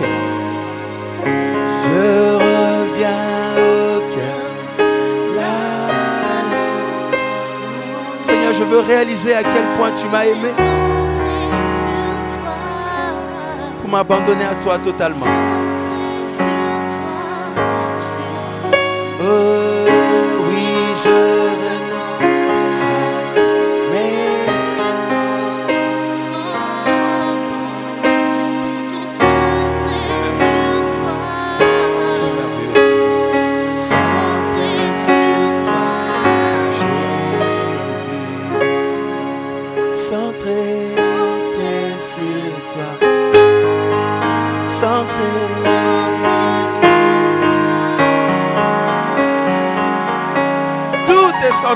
Je veux tout centrer sur toi, mon maître.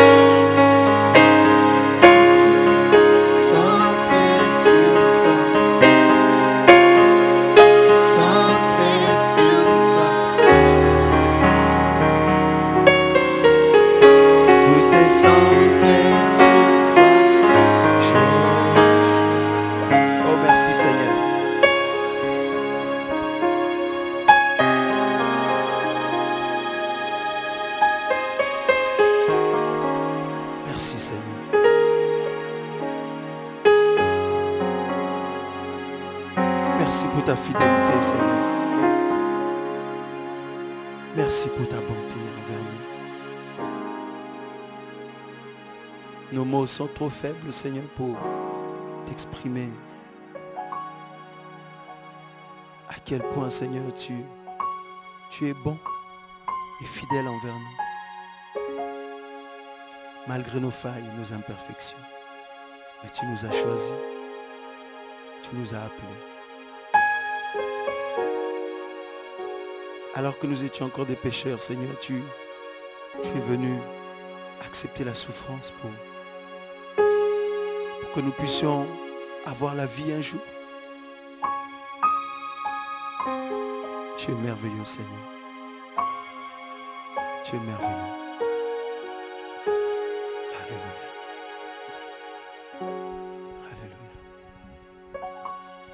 Alléluia.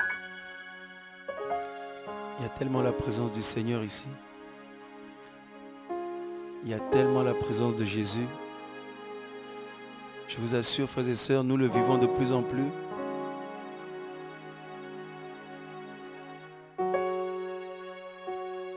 Depuis que nous avons compris qu'il faut retourner au fondement, il faut retourner à la parole de Dieu, eh bien, nous vivons la vie du Seigneur. Parce que nous prions un Dieu vivant qui nous entend, qui nous voit, qui peut compatir à nos faiblesses.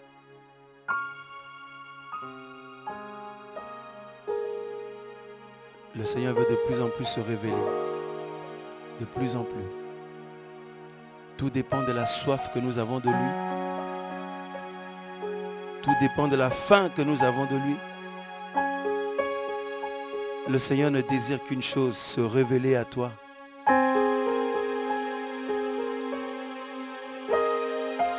Pour que ton christianisme ne soit pas une copie de qui que ce soit, mais que tu vives quelque chose de particulier avec lui. Voilà pourquoi il ôte de plus en plus le voile de tes yeux et de ton cœur surtout. Merci Seigneur. Merci Seigneur Jésus. Qu'il soit complètement restauré, fortifié. Pour qu'elle puisse à nouveau marcher. Marcher vers toi Seigneur. Au nom de Jésus. Alléluia. Le Seigneur est merveilleux, n'est-ce pas? Est-ce que nous pouvons l'acclamer encore, s'il vous plaît? Merci Seigneur.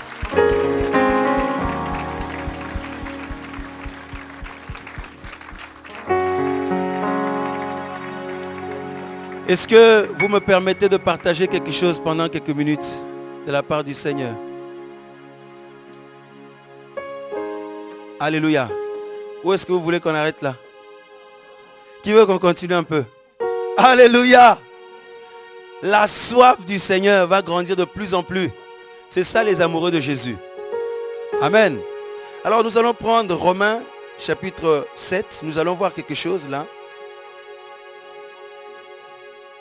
Savez, quand sa présence est là, on ne force pas. C'est le Saint-Esprit qui fait le travail. Et là, nous pouvons partager sa parole. Et si ton cœur est ouvert, sa parole pénètre en toi. Je pense que nous avons tous compris que la solution se trouve dans la parole de Dieu. Vous connaîtrez la vérité et la vérité vous affranchira. On peut prier pour ta délivrance à plusieurs reprises. Mais si tu n'as pas ouvert ton cœur à la vérité, ton problème va perdurer. Alléluia. Seule la vérité peut t'affranchir réellement. Et lorsqu'on parle du mot affranchir, en général, ce sont les esclaves qui sont affranchis. Alléluia. Donc cela veut dire que esclaves que nous étions, Lorsque nos, cœurs s'ouvrent au Seigneur, nous recevons la vie de, la vie de Dieu, la vie d'en haut. Alléluia. Je voulais partager quelque chose parce que, comme je disais tout à l'heure, comme la plupart d'entre nous, nous ne sommes pas descendus du ciel, nous avons connu la vie du monde. Je me suis converti à peu près en 2000, 2003, 2004, 2004. Dans le monde, on était, comme la plupart d'entre nous, dans les ambiances euh, de délinquance, comme beaucoup, que le Seigneur a tiré de là. Et je dilais à l'époque on avait une bande de d'amis qu'on appelait à l'époque des potes. Et on faisait de la gonflette, tout ça. On était connus un peu dans le secteur où nous habitons. Et pour nous, on croyait que c'était la gloire. Mais au fur et à mesure qu'on avançait, lorsqu'on a commencé à perdre des amis, dans des bagarres, lors de retours de boîte de nuit, complètement ivre ou je ne sais pas dans quel état, des accidents, etc. Au fur et à mesure qu'on perdait des proches, des amis proches qu'on pouvait considérer comme des frères ou des sœurs, parce qu'il y a eu des liens d'âme, des liens charnels aussi. La crainte a commencé à s'emparer de nos cœurs parce qu'on a commencé à comprendre que eux qui partent là, on n'est pas mieux qu'eux. Si nous sommes vivants encore, c'est que c'est la grâce de Dieu. Et le travail du Seigneur a commencé dans nos cœurs. Jusqu'à lorsque le Seigneur nous a touchés et nous a sortis de là. Alléluia. Étant animés de l'amour du Seigneur, comme la plupart d'entre nous, nous sommes engagés dans la, dans la marche avec le Seigneur. Et tout au long de cette marche, au début, il y a ce qu'on appelle le premier amour. Donc ce zèle, le Seigneur vient de nous toucher. Nous sommes tout feu, tout flamme pour lui. On est prêt à tout pour lui. Et au fur et à mesure que nous avancions, On a commencé à rencontrer des combats. Depuis presque dix ans, on a commencé à rencontrer des luttes, de l'opposition. Comme on nous le disait tout à l'heure, lorsqu'on nous, a, on nous annonce Jésus, on croit que lorsqu'on va venir au Seigneur, on va être assis et puis tout va se faire. Alléluia. Oui, c'est vrai. Lorsqu'on vient à Jésus, nous rentrons dans le repos du Seigneur. Mais le Seigneur fait un travail en nous. Mais tellement nous sommes attachés à notre personne, tellement nous sommes attachés à nos conceptions que nous trouvons bonnes, à nos mentalités, nos points de vue, à nos raisonnements. Lorsque la parole de Dieu nous est donnée, nous avons l'impression que cette parole est dure parce qu'elle va à l'encontre de nos habitudes. Et nous avons de plus en plus l'impression comme quoi, euh, eh bien, euh, c'est comme si c'est difficile de suivre le Seigneur et d'obéir au Seigneur. C'est comme si sa parole est dure. Alors que non, sa parole n'est pas dure. Alléluia. La Bible dit, l'amour pour le Seigneur consiste à garder ses commandements. Ses commandements ne sont pas pénibles. Et nous commençons à les trouver durs parce que c'est nos mœurs qui se sont perverties. Alléluia. Déjà lorsque nous étions dans le monde et lorsque le Seigneur nous a touchés, comme vous le savez, nous bénéficions de l'œuvre de la croix sans rien mériter. Alléluia. Et Paul dit dans Romains 5, au verset 8, il dit, Dieu prouve son amour envers nous en ce que lorsque nous étions encore des pécheurs, Christ est mort pour nous. Alléluia. Donc lorsque la voix du Seigneur retentit, l'appel du Seigneur nous est lancé, nous sommes convaincus de nos péchés par l'action de l'Esprit de Dieu et de la parole. Nous ouvrons nos cœurs à la parole du Seigneur. Lorsque nous engageons dans la marche avec lui, là encore, on se rend compte de plusieurs surprises. Alléluia. L'adversité. Et comme beaucoup peuvent le croire, on pouvait le croire aussi avant, que notre premier ennemi était le diable les démons, les sorciers. Mais en réalité, ce n'est même pas eux, c'est nous-mêmes. Alléluia. Notre premier ennemi, c'est nous-mêmes. Notre chair, notre vieille nature. Parce que pour le diable, les démons, tout ça, le Seigneur les a vaincus à la croix. Le combat spirituel, lorsqu'on parle de combat spirituel, on voit le combat contre le diable, les démons, etc. Ce combat a déjà été remporté. Alléluia.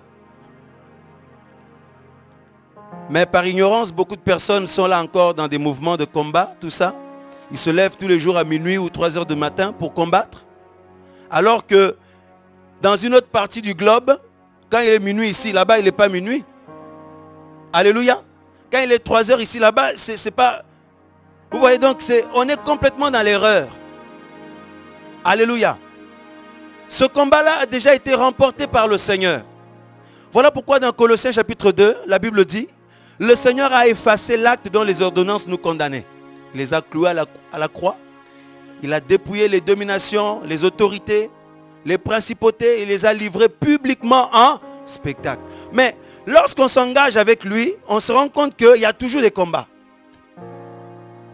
Oui. Même si l'ennemi sait qu'il est vaincu, mais il ne s'avouera pas vaincu. Il continuera à te combattre, à t'attaquer. Alléluia.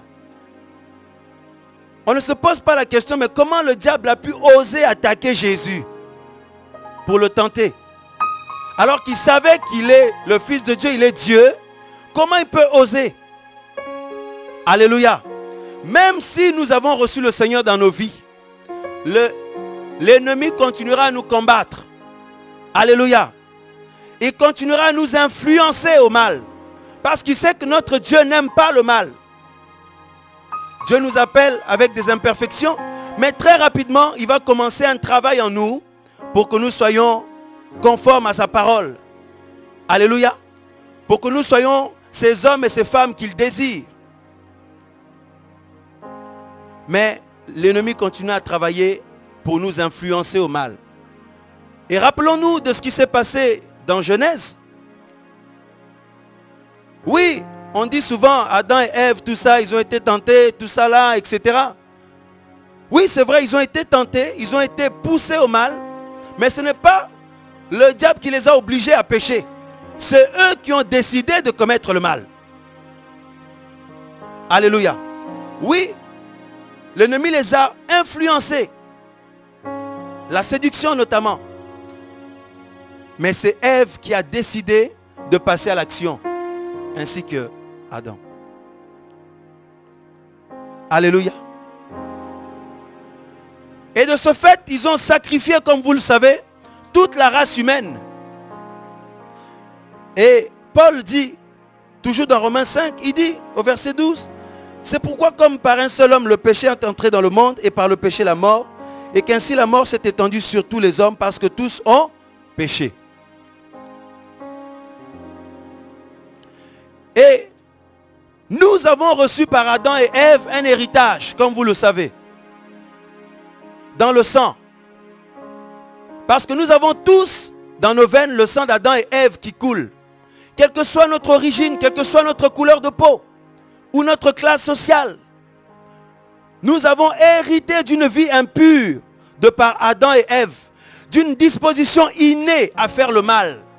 Voilà pourquoi même lorsqu'un enfant vient au monde, cet enfant est innocent par rapport à la moralité parce qu'il n'a jamais rien fait de mal. Mais dans son sang, il y a déjà le, péché, le mal. C'est pourquoi, même petit, on passe notre temps déjà à vouloir redresser l'enfant. Mais qui lui a appris à faire des bêtises? Quand est-ce qu'il a appris à faire des bêtises? Quand est-ce qu'il a appris à faire le mal que nous ayons, parents, à le redresser? Eh bien, c'est par rapport à l'héritage adamique. Alléluia. Et remarquez la mission du Seigneur Jésus. Lorsque j'essaie de d'aller, de survoler un peu pour gagner du temps, mais je vais essayer de toucher les points les plus importants par la grâce du Seigneur. Lorsque Jésus-Christ est venu, il est venu dans le but de nous sortir de nos souffrances. De son vivant, il guérissait les malades, il délivrait les possédés, les morts même ressuscités. Ceux qui avaient perdu l'espoir retrouvaient l'espoir auprès du Seigneur. Il a opéré beaucoup de prodiges. Alléluia. Mais lorsque ces personnes étaient délivrées, c'était une bénédiction. Le Seigneur pouvait s'arrêter là. Lorsque ces personnes qui étaient malades étaient guéries, c'était une bénédiction, une grâce. Le Seigneur pouvait s'arrêter là. Parce que tout ce qui nous vient de Dieu est une bénédiction. Le Seigneur pouvait s'arrêter là parce que celui qui était malade est guéri, c'est bon, il a fini. Ou celui qui était possédé et délivré, c'est bon, il a fini. Ou celui qui était mort physiquement et ressuscité, ça y est, c'est bon. Le Seigneur pouvait arrêter son travail là. Mais, comme vous le savez, le Seigneur ne s'est point arrêté là. Alléluia. L'aboutissement de sa mission était d'aller jusqu'à la croix. Alors qu'avant la croix, il a opéré beaucoup de prodiges et de choses glorieuses. Mais il ne s'est pas arrêté là parce qu'il savait que le problème de l'homme, de l'être humain, ne s'arrête pas aux souffrances extérieures. Le problème, la, la base, c'est à l'intérieur. Alléluia. Et la méthode que le Seigneur avait décidé pour résoudre nos problèmes intérieurs, c'est sa parole. Je dirais, la solution que Dieu avait donnée, c'est sa parole. Il est venu lui-même en personne. Il a incarné cette parole. Tous ceux qui sont venus à lui avec un cœur ouvert ont reçu la vie de Dieu au travers la parole du Seigneur Jésus. Mais tous ceux qui avaient le cœur fermé sont passés à côté. Notamment les pharisiens, les religieux de l'époque. Et beaucoup d'Israélites alors qu'ils priaient depuis des années, des années tout le monde soupirait à l'avènement du Messie. Lorsque le Messie arrive, ils sont passés à côté. Alléluia. Et dans Matthieu chapitre 9, je vais lire rapidement ce passage.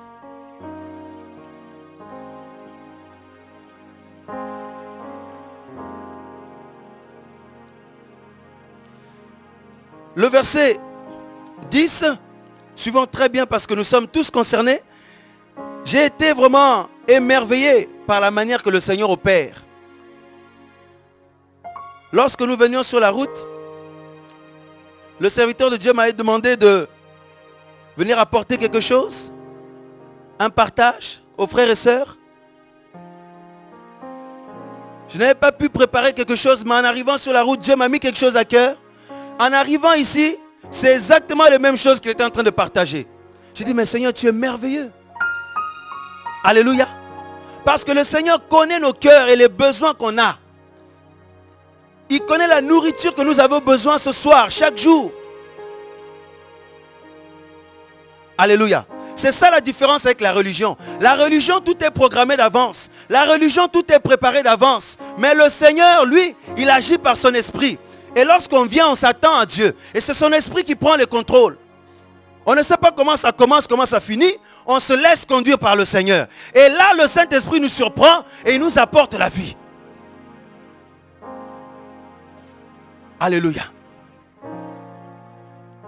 Lorsqu'on a commencé à parler de tout ça, frères et sœurs, parce que le combat contre le diable est remporté, mais aujourd'hui, beaucoup de chrétiens mènent une vie de défaite. Les démons règnent encore sur eux. Pourquoi? Parce que à la base, le problème intérieur n'est pas résolu, n'est pas réglé par rapport à l'héritage adamique. Donc le diable exploite ces faiblesses-là qu'on a. Le diable exploite cet héritage impur qu'on a reçu parce que lui, il connaît donc, hein, il, a, il a eu les premiers êtres humains, Adam et Ève, tous nos ancêtres, même que nous ne connaissons pas. Nous pouvons connaître peut-être nos grands-parents, nos arrière-grands-parents, mais arrière-arrière-grands-parents, dix générations en arrière. On ne les connaît pas forcément parce que les photos n'existaient pas à leur époque. Alléluia. Mais le diable, lui, les connaît. Nos ancêtres que nous ne connaissons même pas, lui, les connaît et il les avait eus. Alléluia. Alors lorsque Dieu nous touche aujourd'hui, on se retrouve avec des combats, des, des difficultés comme si le Seigneur n'est pas capable de résoudre nos problèmes. Et nous menons une vie de, défaite où nous subissons. Et on souffre, chacun essaie de cacher cela. Parce qu'on aime le Seigneur. On veut plaire au Seigneur, mais chaque jour nous sommes confrontés à des difficultés. On se dit, mais c'est pas possible, j'ai un Seigneur glorieux, je veux lui plaire. Mais j'arrive pas à lui plaire on jeûne, on fait des efforts, etc. Mais le problème perdure toujours, comme on nous l'a dit tout à l'heure. J'ai vécu cela moi aussi. Alléluia. Et à la lumière des Écritures, j'ai vu que Paul aussi avait vécu cela.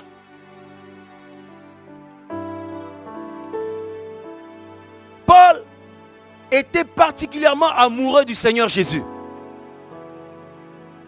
Alléluia. Il ne s'est pas attaché à son ministère. Il a d'abord travaillé pour hériter le ciel et la vie éternelle. Et il voulait plaire à Dieu chaque jour, comme nous. Et au fur et à mesure, il était confronté à, des combats, à des luttes que je vais lire tout à l'heure. Mais il dit, mais c'est pas possible, j'aime le Seigneur, mais comment je peux penser de telles choses, poser de tels actes? Avant de lire Matthieu 9, comme je suis poussé à en parler par rapport à l'expérience de Paul, je vais lire rapidement Romains 7. Parce que la jeunesse, les hommes et les femmes de tout âge, nous voulons aller loin avec, avec le Seigneur. Mais tous les jours, le mal est attaché à nous. Et après, on culpabilise. Chacun, je vous dis, essaye de cacher ça du mieux possible. Et c'est dur parce qu'il y en a qui baissent les bras. Quand le diable se met à t'accuser, mon frère, ma soeur, c'est terrible. Tu peux être là, tu parles pas, mais tu es harcelé dans tes pensées, dans ton cœur. Tu t'en veux, tu pleures, tout ça. Mais le lendemain, tu recommences les mêmes choses qui n'honorent pas Dieu. Tu jeûnes, ça continue toujours. Tu pries, tu pries. Tu fais même des retraites. Pendant quelques temps, tu as l'impression que ça va. Quelques mois après, tu retombes dans le même péché.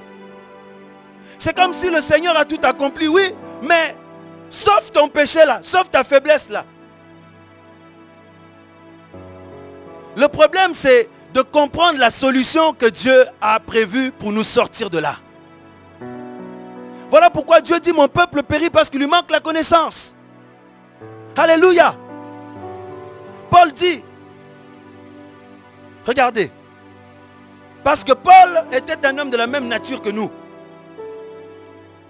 Il avait dans son sang hein, l'héritage d'Adam et Ève. Cette disposition à faire le mal. Et il dit, au verset 15 du chapitre 7 de Romains, il dit, car je ne sais pas ce que je fais, je ne fais point ce que je veux, je fais ce que je hais. Or, si je fais ce que je ne veux pas, je reconnais par là que la loi de Dieu est bonne. Et maintenant, ce n'est plus moi qui le fais, mais c'est le péché qui habite en moi. Ce qui est bon, je le sais, n'habite pas en moi, c'est-à-dire dans ma chair. Dis, j'ai la volonté, je veux, je veux de tout mon cœur, de tout mon être, de faire le bien.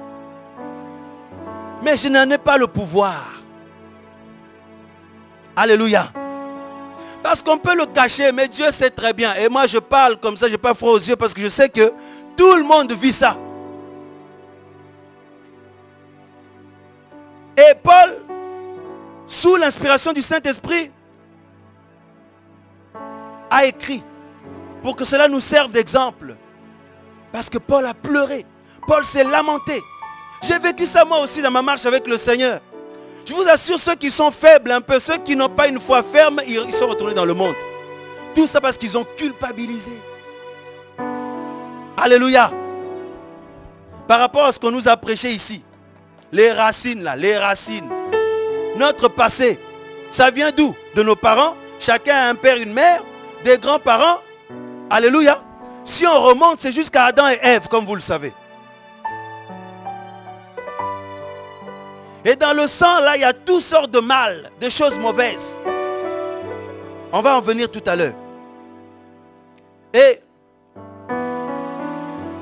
il dit, au verset 19, il dit, car je ne fais pas le bien que je veux. Je veux faire le bien, mais j'arrive pas à le faire. Mais je fais le mal que je ne veux pas. Et si je fais ce que je ne veux pas, ce n'est pas moi, ce n'est plus moi qui le fais, c'est le péché qui habite en moi. Frères, sœurs, nous aimons le Seigneur, mais le péché habite en toi, habite en nous. Pourtant, remarquez comment Dieu est le péché. Remarquez comment Dieu déteste le péché. Parce que c'est ça qui détruit l'homme. C'est ça qui nous empêche de voir la gloire de Dieu. C'est ça qui nous pousse, à, nous pousse à la mort. Alléluia. Au verset 21, il dit, je trouve dans moi cette loi, quand je veux faire le bien, le mal est attaché à moi. Frère, attaché. Hein? Ça veut dire ce que ça veut dire? Le mal est attaché à toi et à moi. Même si nous aimons le Seigneur, même si Dieu nous a visités comme tout à l'heure, même si Dieu nous visite à chaque fois, le mal est attaché à nous. Alléluia. Paul pleurait. Hein? Il dit, car je prends plaisir à la loi de Dieu, à la parole de Dieu. J'aime la parole du Seigneur. Je reconnais que cette parole est bonne pour moi. C'est la bonne voie. Je prends plaisir à la loi de Dieu, selon l'homme intérieur. Mais je vois dans mes membres une autre loi qui lutte contre la loi de mon entendement et qui me rend captif de la loi du péché qui est dans mes membres. Frère, Alléluia. Il pleure, il dit, misérable que je suis, qui me délivra de ce corps de mort?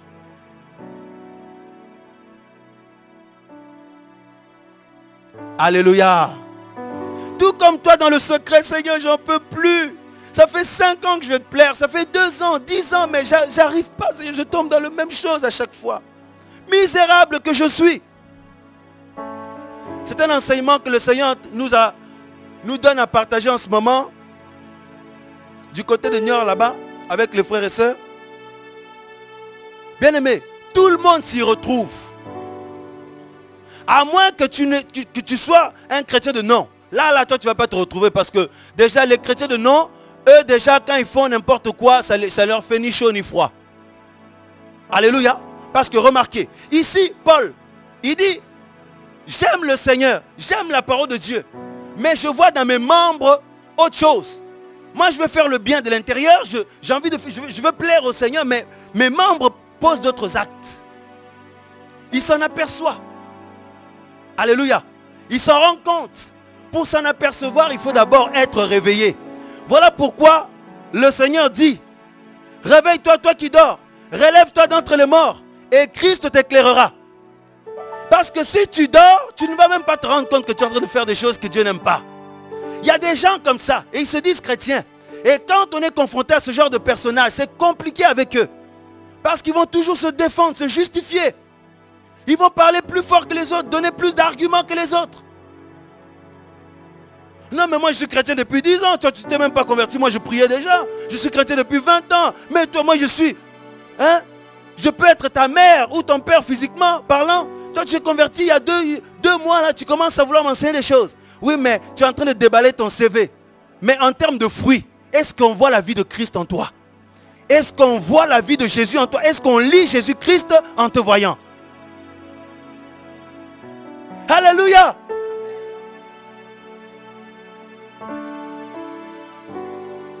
Donc ça, c'est ceux qui dorment. Quand on dort, on n'est pas conscient de son environnement. Et il y en a qui disent, non, mais moi je ne dors pas. Moi je ne dors pas. J'aime le Seigneur. Comment, pourquoi tu dis que je dors? Comment veux-tu que je dorme? Non, mais même si tu dis que tu ne dors pas, mais ta vie parle. Tes agissements parlent.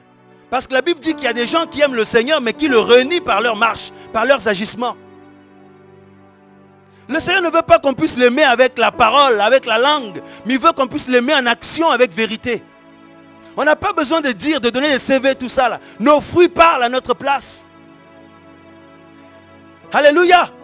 Lorsque le Seigneur Jésus était là, il y avait là, je sais pas, il y avait beaucoup de choses qui se passaient. Le Seigneur pose la question, il dit, qu'est-ce que les gens disent de moi? Il savait qui il était. Mais il pose la question par rapport aux fruits qu'on voyait de lui. Alléluia. On disait les uns disent que tu es Jean-Baptiste, les autres Élie et ou l'un des prophètes. Ce n'est pas étonnant parce que ces prophètes avaient son esprit. Pierre le dit dans 1 Pierre 1, 10. Il dit tous ces prophètes qui ont prophétisé touchant la grâce, hein, ils voulaient sonder à peu près l'époque que, Jésus allait venir parce qu'ils avaient l'esprit de Christ qui était en eux. C'est pour ça, on voyait des parties de chaque prophète là quand Jésus-Christ travaillait. Alléluia.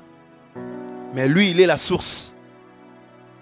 Mais Pierre, par la révélation du Seigneur, il dit, tu es le Christ, le Fils du Dieu vivant. Et le Seigneur dit une chose de terrible. Il dit, ce n'est pas la chair et le sang qui t'ont révélé cela, ma soeur Marie. Il dit, donc cela veut dire que ce n'est pas un être humain qui t'a révélé ça. Parce qu'avec ce programme de réveil que nous vivons chaque samedi, nous sommes visités par le Seigneur, bénis par le Seigneur, encouragés, renouvelés. Mais les mêmes personnes, on retourne quelques semaines après, ils retrouvent dans les mêmes choses. Quelques mois après, il n'y a même pas de changement. Dieu ne peut pas opérer quelque part sans qu'il y ait des changements, frères et sœurs. Le christianisme biblique est basé sur Jésus-Christ ressuscité. Pour qu'on puisse voir le Dieu que Paul priait, Pierre et les autres, il faut qu'il y ait du changement. Et ça, le diable ne peut pas le faire, alors qu'il peut imiter d'autres miracles, etc. Les marabouts aussi peuvent faire des prodiges. Les satanistes peuvent faire des choses impressionnantes aussi. Mais prendre un pécheur, le changer en saint, le transformer en saint, le diable ne peut pas faire ça. Seul Dieu peut le faire. Et ça, c'est la marque de l'Esprit de Dieu. Quand Dieu travaille dans la vie de quelqu'un, il y, a, il y a le changement. Après quelque temps, on va voir la vie de Christ qui coule. Et ce n'est pas un effort, ce n'est pas un effort. Oh non, j'en peux plus, la vie chrétienne c'est difficile, il faut faire des efforts. Non, non, non, non, non, non. Ce ne sont pas des efforts. Parce que quand nous rentrons dans la vie chrétienne, on rentre dans le repos. On nous l'a prêché, mais on n'a pas compris. On rentre dans le repos. La vie chrétienne commence par le repos, c'est-à-dire que nous sommes au bénéfice du sacrifice de Jésus-Christ. On l'a lu tout à l'heure, Romains 5, 8. Alors que nous étions encore des pécheurs, il avait déjà tout accompli. Nous nous donnons nos vies, nous rentrons dans ce repos. Alléluia. Mais, mais, il y a un travail qui va se faire maintenant. On va voir notre vieille nature qui va nous montrer qu'elle est là, comme on nous l'a dit tout à l'heure. Alléluia. Donc, là, celui qui dort ne s'en aperçoit pas. Paul dit que je vois dans mes membres une autre loi. Il dit, moi j'aime le Seigneur, mais je vois mes membres qui font autre chose. J'ai prié le Seigneur depuis des semaines et des semaines. Je veux plaire à mon mari. Je veux changer vis-à-vis de ma femme, vis-à-vis -vis de mes enfants, des frères et sœurs. Des bien-aimés de l'assemblée là où je vais, ou même des collègues de travail. Mais à chaque fois, je retombe, je suis comme toujours à la même chose. Je vois dans mes membres autre chose. Aujourd'hui, je prends des bonnes résolutions. Demain, quand je suis en face des gens là, je fais autre chose. Mes membres font autre chose. Paul s'en aperçoit, ça veut dire qu'il était réveillé. Voilà pourquoi déjà le début, c'est de te réveiller déjà. Si tu reçois Jésus dans ton cœur, il ne faut pas le recevoir par de manière intellectuelle. Il faut le recevoir avec un cœur ouvert. Et là, le Seigneur va te ôter le voile. Tu vas pouvoir être réveillé.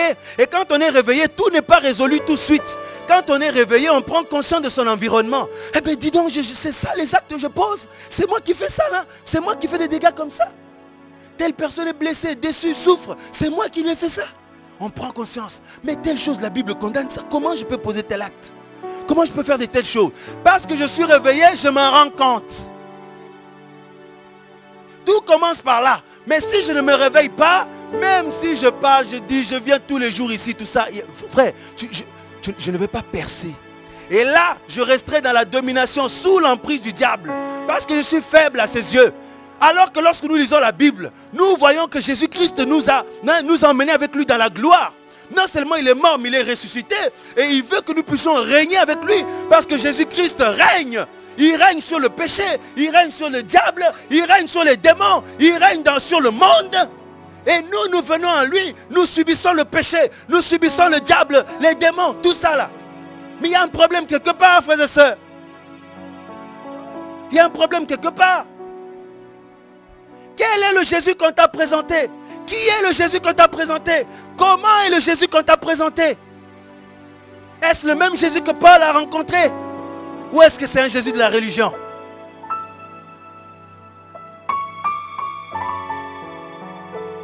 Alléluia. Est-ce que je peux continuer? Vous êtes sûr? Vous me donnez jusqu'à quand là? Comment? Ok, ben, comme vous me l'autorisez, j'y vais. Alléluia. J'y vais au nom de Jésus-Christ. Frères, sœurs, et là, c'est tout âge confondu. Ce n'est pas les jeunes de, hein, du tranche d'âge entre 10 et 20 ans, ou d'autres entre 20 et 30 ans, ou d'autres entre 30 et 40 ans. Non, non, non, c'est tout âge confondu. Le sang qui coule dans nos veines, là, tout le monde vit la même chose. Quel que soit ton âge. Alléluia. Donc déjà, il faut commencer par comprendre ça. Se réveiller. Se réveiller, c'est être vrai avec Dieu et avec toi-même. Parce que quand tu es réveillé, tu es conscient des actes que tu poses. Tu sais que ce que je fais là, ce n'est pas bien pour le Seigneur. C'est bien ou c'est pas bien? Tu en es conscient.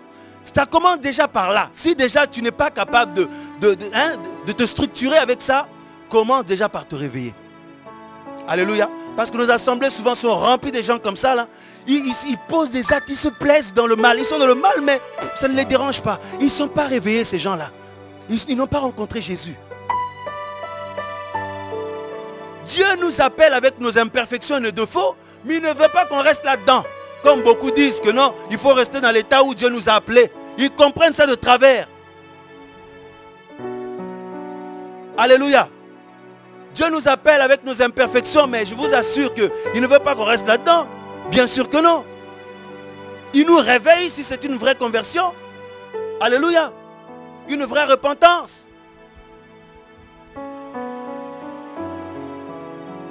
Dis à ton voisin, réveille-toi au nom de Jésus. Dis-lui, réveille-toi si tu veux voir la gloire de Dieu. Dis-lui, réveille-toi si tu veux bénéficier de l'œuvre de la croix. Et se réveiller, c'est être sincère avec soi-même et avec Dieu. Oh, celui-là, là, j'en ai assez qui me dit toujours les mêmes choses. Il me fait toujours les mêmes reproches, tout ça, là, j'en ai assez. Non, mais si ces reproches sont vrais, si c'est vraiment comme, comme ça que tu es, accepte d'abord. Parce que comment veux-tu être guéri si tu n'acceptes pas que tu es malade? Si tu crois que tu es en bonne santé alors que tu es malade, mais tu vas rester comme ça. Alléluia. Et Matthieu 9, 10. Comme Jésus était à table dans la maison, voici beaucoup de publicains et des gens de mauvaise vie vinrent se mettre à table avec lui et ses disciples. Les pharisiens virent cela Et ils disent à ses, dirent à ses disciples, pourquoi votre maître mange-t-il avec les publicains et les gens de mauvaise vie? Alléluia. Jésus les ayant entendus leur dit, ce n'est pas ceux qui, sont, qui, qui se portent bien qui ont besoin de médecins, mais les malades. Allez, apprenez ce qui signifie, je prends plaisir à la miséricorde et non au sacrifice, car je ne suis pas venu appeler, des justes à la repentance, mais des pécheurs, frères, sœurs. Là, c'est quelque chose de terrible. Si tu comprends bien cela, il va y avoir un tournant. Alléluia. Dans ta marche avec le Seigneur. Le Seigneur fait allusion aux médecins. Alors qu'au début, on nous dit que Jésus se mit à table avec les gens de mauvaise vie. Des prostituées, des ex, euh, ben, des délinquants, des prostituées, des bagarreurs, des voleurs, des grands menteurs, menteuses, des escrocs, des débauchés. Alléluia. Il se met à table avec tout ce monde-là. Les gens de mauvaise vie. Et lorsqu'on lui pose la question, il dit, mais ce ne sont pas ceux qui sont en bonne santé qui ont besoin de médecins. Il parle de médecins. Donc cela veut dire, on ne peut pas parler de médecins sans parler de maladie. Cela veut dire que pour le Seigneur, les gens qui sont de mauvaise vie, là, ils, ce sont des malades. Ils sont malades. Alléluia. Ils sont malades. Ces personnes-là peuvent être bien portants physiquement. Vous savez, je vous disais tout à l'heure, hein, que pour, le Seigneur, les maladies les plus graves, on va les voir tout à l'heure, c'est les maladies intérieures. Parce que je peux être hein, malade du pied, le Seigneur guérit mon pied. Et je commence à bien marcher, mais ma maladie intérieure, elle n'est pas guérie. Et si le Seigneur revient, je ne pars pas à, à l'enlèvement. Si je meurs, je vais en enfer. Avec mon pied qui est guéri là. Alléluia. D'autres personnes peuvent être malades physiquement, mais intérieurement, ils reçoivent la guérison du Seigneur. Ceux-là, si le Seigneur revient, ils partent. S'ils meurent, ils vont au ciel tout droit, malgré la maladie physique. Donc comprenez, pour nous les hommes, les maladies les plus graves, c'est ceux qu'on voit, mais pour Dieu, les plus graves, c'est ceux qu'on ne voit pas. Donc on veut voir les choses comme les hommes le voient, ou on veut voir les choses comme Dieu le voit. Comme Dieu le voit. C'est déjà un bon début. Parce qu'il est écrit malheur à ceux qui se confient dans l'homme. Quand on se confie dans l'homme, on se confie aux conclusions des hommes. On se confie au raisonnement des hommes. Alléluia. Oh non, la science a, conclu que voilà hein, la souffrance de, des couples maintenant, des familles, de la jeunesse. Ça vient du, hein, euh, donc, euh, du stress, ça vient de l'environnement, je ne sais pas quoi, ça vient de telle maladie. La science, vous savez comment ça fonctionne, tout ça, là, la science, tout ça. Hein? Tout, ce qui est scientifique, tout ça là. Vous savez, ils vont faire des recherches. Ils vont dans la nature, ils prennent un arbre, tout ça, je ne sais pas, des plantes. Ils, prennent des, des, hein, je sais pas comment on appelle ça, des ingrédients ou je ne sais pas quoi là. Des échantillons, merci. Ils viennent avec ça dans leur laboratoire, ils analysent ça de près pendant des, des jours et des jours. Ils essayent de comprendre quelque chose. Alléluia. Après, ils font une conclusion. Tu vois un peu? Ils tâtonnent. Il y a telle maladie, tout ça là. Comment résoudre cette maladie? Ben, ils vont dans la nature, ils cherchent des, plantes, ou je ne sais pas quoi là, ils prennent des échantillons, ils essayent un peu de, hein, des, hein, formules et des formules. Non, ben, on ne va pas l'essayer sur l'être humain, parce que si on l'essaye sur l'être humain, hein, non, non, si ça ne marche pas, il risque de mourir comme la vie humaine est précieuse, emmener une souris ou je ne sais pas, un, rat. On amène un animal, tout ça là. On prend le produit, on pique l'animal. On regarde. L'animal, l'animal meurt. Oh non, non, non, non, non, c'est pas bon, il faut détruire ça. Alléluia. Parce que c'est un danger. On pique l'animal, l'animal change de couleur, il y, a, plusieurs couleurs, tout ça. Là. Ah non, non, non, non, non. Il faut surtout pas essayer ça sur l'être humain. Donc ils tâtonnent. Ils essayent là. Non, ça ne marche pas. Ils essayent là. Et le jour où l'animal est toujours vivant, ah ben ça doit être ça. Ça doit être ça. Donc la solution à telle maladie, certainement ça doit venir de ça, ça, ça. Et on met des médicaments, etc. Donc les scientifiques, hein, la science, tout ça, ils travaillent dans les ténèbres les plus complets. Parce qu'ils tâtonnent. Ils ne savent pas comment résoudre le problème. Ils cherchent. Ils essayent. Bon, non, ça ne marche pas. Ils essaient autre chose. Et quand ils essayent comme ça, ça peut durer 5, 10, 15, 20 ans. Et pendant ce temps, les gens sont détruits au quotidien. Avec toutes ces maladies intérieures. Est-ce que vous comprenez bien là? C'est pour ça que Dieu dit, malheur à celui qui se confie dans l'homme. Quand on se confie dans l'homme, on se confie dans tout ça, dans tout ce que l'homme conclut comme raisonnement, comme hein, euh, étude. Oh non, aujourd'hui en France, la moyenne de délinquance est passée à tant, tant, tant. La moyenne de, familles brisées est passée à tant, tant, tant. Les jeunes qui souffrent, etc. La rébellion des enfants. Alléluia. Oh non, mais on va faire une étude on prend des opinions publiques, tout ça là. On conclut un pourcentage. Après, on essaie de voir comment on peut traiter ça. On met des psychologues, des, hein, euh, psychiatres. On essaie d'expliquer tout ça, on tâtonne. Et quand vous venez comme ça, on vous pose des questions, des questions. Comme la cure d'âme, quoi. Honte aux serviteurs aussi dans les églises là qui, font, ça. Oh, depuis que tu es né, tout ça là, Qu'est-ce ce que tu as fait? Combien d'hommes as-tu connu Combien de... Alléluia. On, tâtonne, on tâtonne. Alléluia. Après, non, pour régler le problème de, hein, de l'éducation dans les familles, il faut, euh, hein, il faut super nanny. Parce que les, mamans qui n'arrivent pas à gérer leurs enfants, il faut leur envoyer super nanny. Il, faut faire appel à super nanny. il faut. Donc avec les médias, on nous présente des gens qui peuvent nous résoudre ces problèmes-là. Des grands frères, voilà. Hein? hein? Il présente qui? Des grands frères. Donc, quand il vient comme ça, là, il se comporte comme Zoro aussi, ce grand frère. Et les parents sont là, oui, nous sommes débordés avec cette fille, nous, sommes débordés avec cet enfant, tout ça, on n'en peut pas. Et le grand frère, là, il fait, il fait vraiment comme s'il est la solution, quoi. Quelle honte Alléluia Dis à ton voisin, nous avons besoin de guérison. Guérison intérieure. Donc on tâtonne. Hein? Alléluia. Mais Dieu, lui, sait que nos problèmes, nos souffrances, nos maladies viennent d'une seule chose, le péché. Dieu sait ça. Il nous donne la solution, mais on n'en veut pas parce que ça nous dérange un peu. Quand sa parole est donnée, ça nous bouscule tout ça là. Ça nous secoue. Alors, euh, ben, tu comprends, c'est un peu difficile. Alors que Dieu donne sa la solution. Ceux qui l'acceptent reçoivent la vie. Ceux qui ne veulent pas passent à côté. Alléluia. Alors, tous les gens de mauvaise vie, Dieu dit que ce sont des malades. Et regardez hein, quelques exemples de maladies qui sont graves, les pires aux yeux de Dieu. Hein? Par exemple, dans Galate, Galate 5, les fruits de la chair, là, ce sont des maladies. Est-ce que tu savais ça?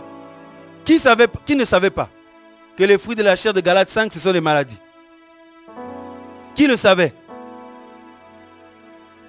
Il y en a, c'est ni l'un ni l'autre. Ben, réveille-toi, mon frère, ma soeur.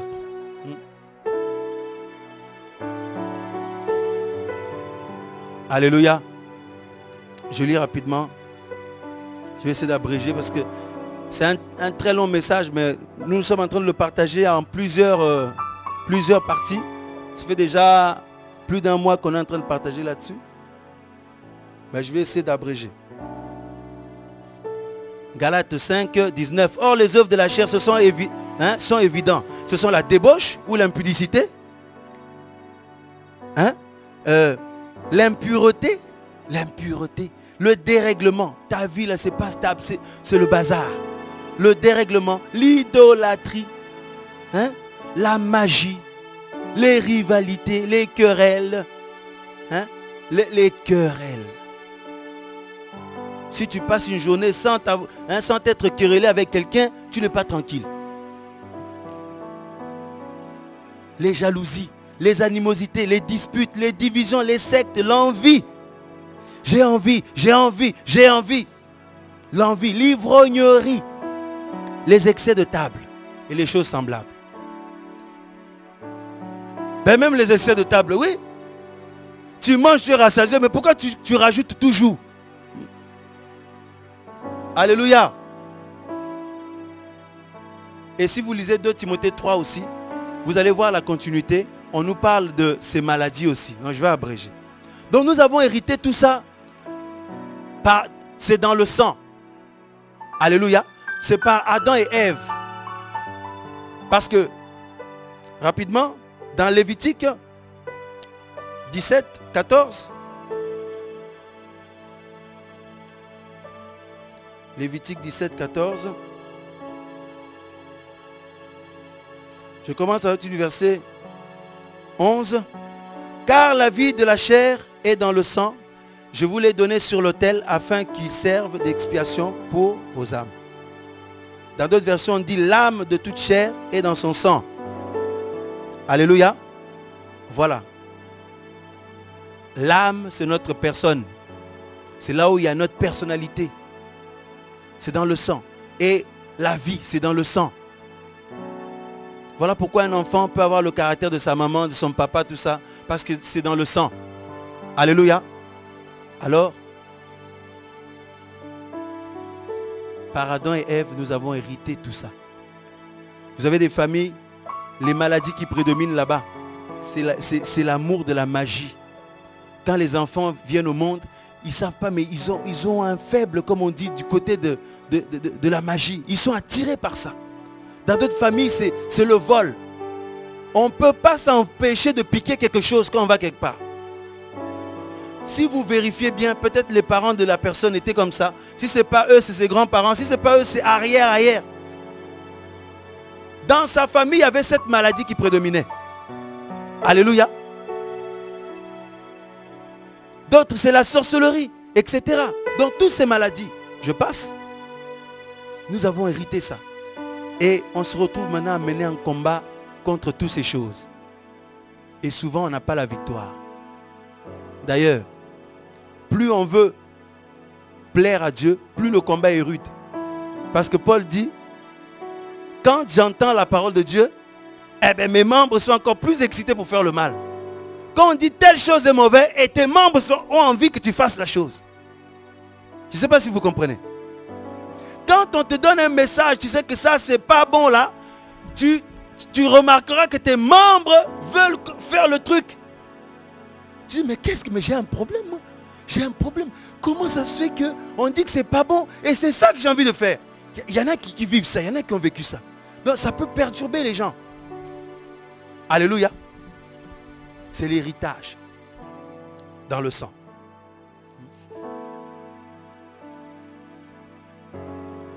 Amen. C'est vraiment très long. Je vais couper parce que le temps passe vite. Hein? Oui. Oui. Pour le lien du sang, il ne faut pas faire la délivrance obligatoirement en chassant les démons. Hein? Il a posé la question, il dit, pour le lien du sang, est-ce qu'il faut faire la délivrance euh, euh, euh, Comment En chassant? Non, non, parce que regarde, hein, il faut bien comprendre. C'est vrai que nous pouvons faire la délivrance, chasser des démons. Tu vois? Mais normalement, selon la Bible, lorsqu'on est réellement en Christ, les liens ancestraux sont coupés. Ça ne doit pas nous suivre. Mais on se retrouve avec des gens qui sont encore possédés, tout ça. C'est parce qu'il y a un... Peut-être la, repentance n'était pas bonne. La conversion est fausse. Et puis, ou alors d'autres, ils, ont fait une bonne repentance, mais ils n'ont pas eu bien l'explication de, de, ces choses. Parce que pour finir, je vais vous montrer quelque chose rapidement. Dans Romains 7. Donc, si tu viens, tu chasses, tu chasses, tu chasses, tu chasses, mais tant que la personne ne comprend pas, parce que Hein? Le sang, c'est toujours en toi. La chair est toujours là. Mais on ne va pas chasser ton sang. On ne peut pas chasser ta chair. Tu vois? Les esprits qui influencent, qui poussent quelqu'un au péché, on peut les chasser. Mais la, source de ce péché-là, on ne peut pas chasser ça. Alléluia. Hmm?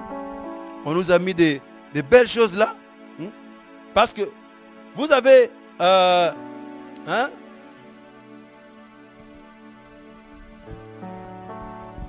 Je vais vous montrer quelque chose rapidement. Hein? Lorsqu'on parle du sacrifice de Jésus, on voit le sang d'abord qui a coulé. Alléluia. Et on voit la croix. Quand on parle de la croix, donc la mort. Alléluia. Comment? Ah oui, merci. Alléluia.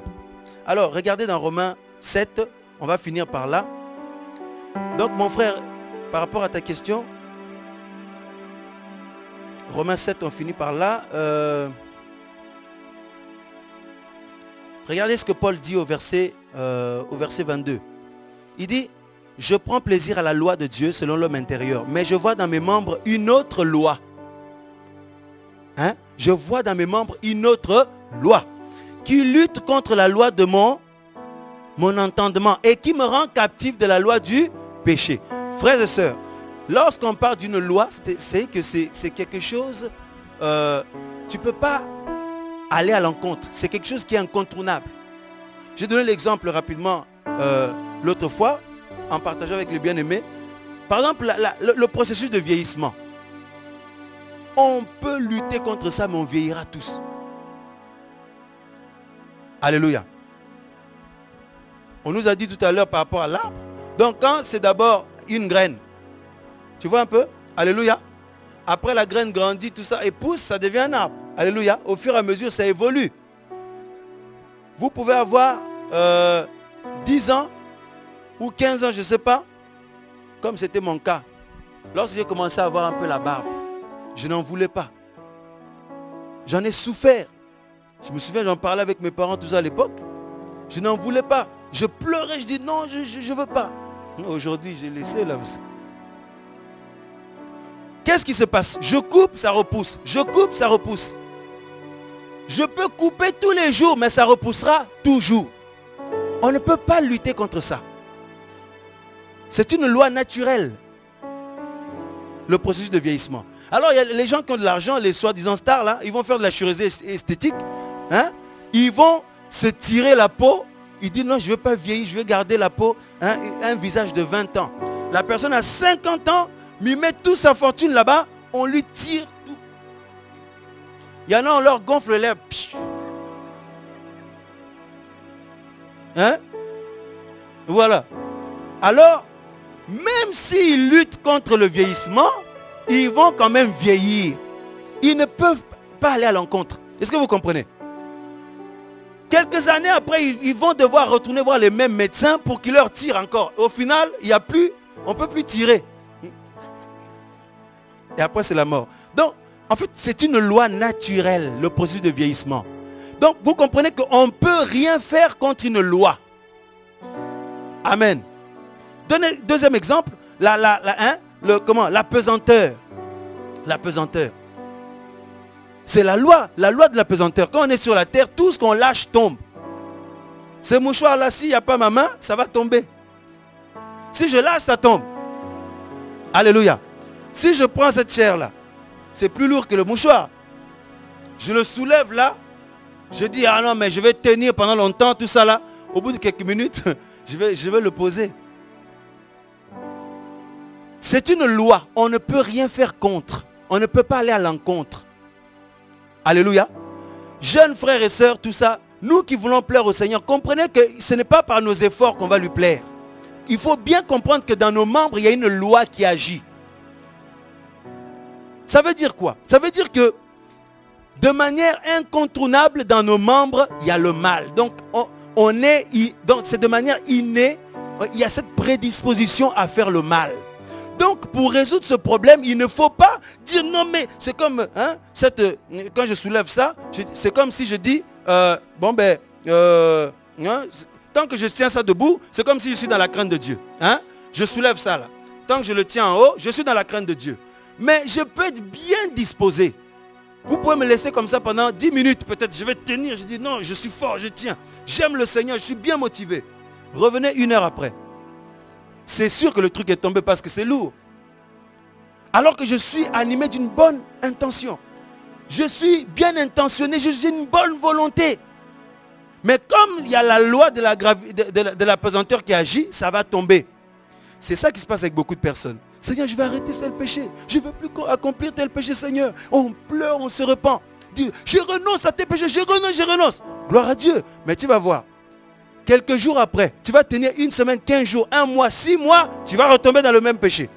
Je ne vais pas me demander qui a déjà vécu ça, parce qu'on risque d'avoir honte de lever la main.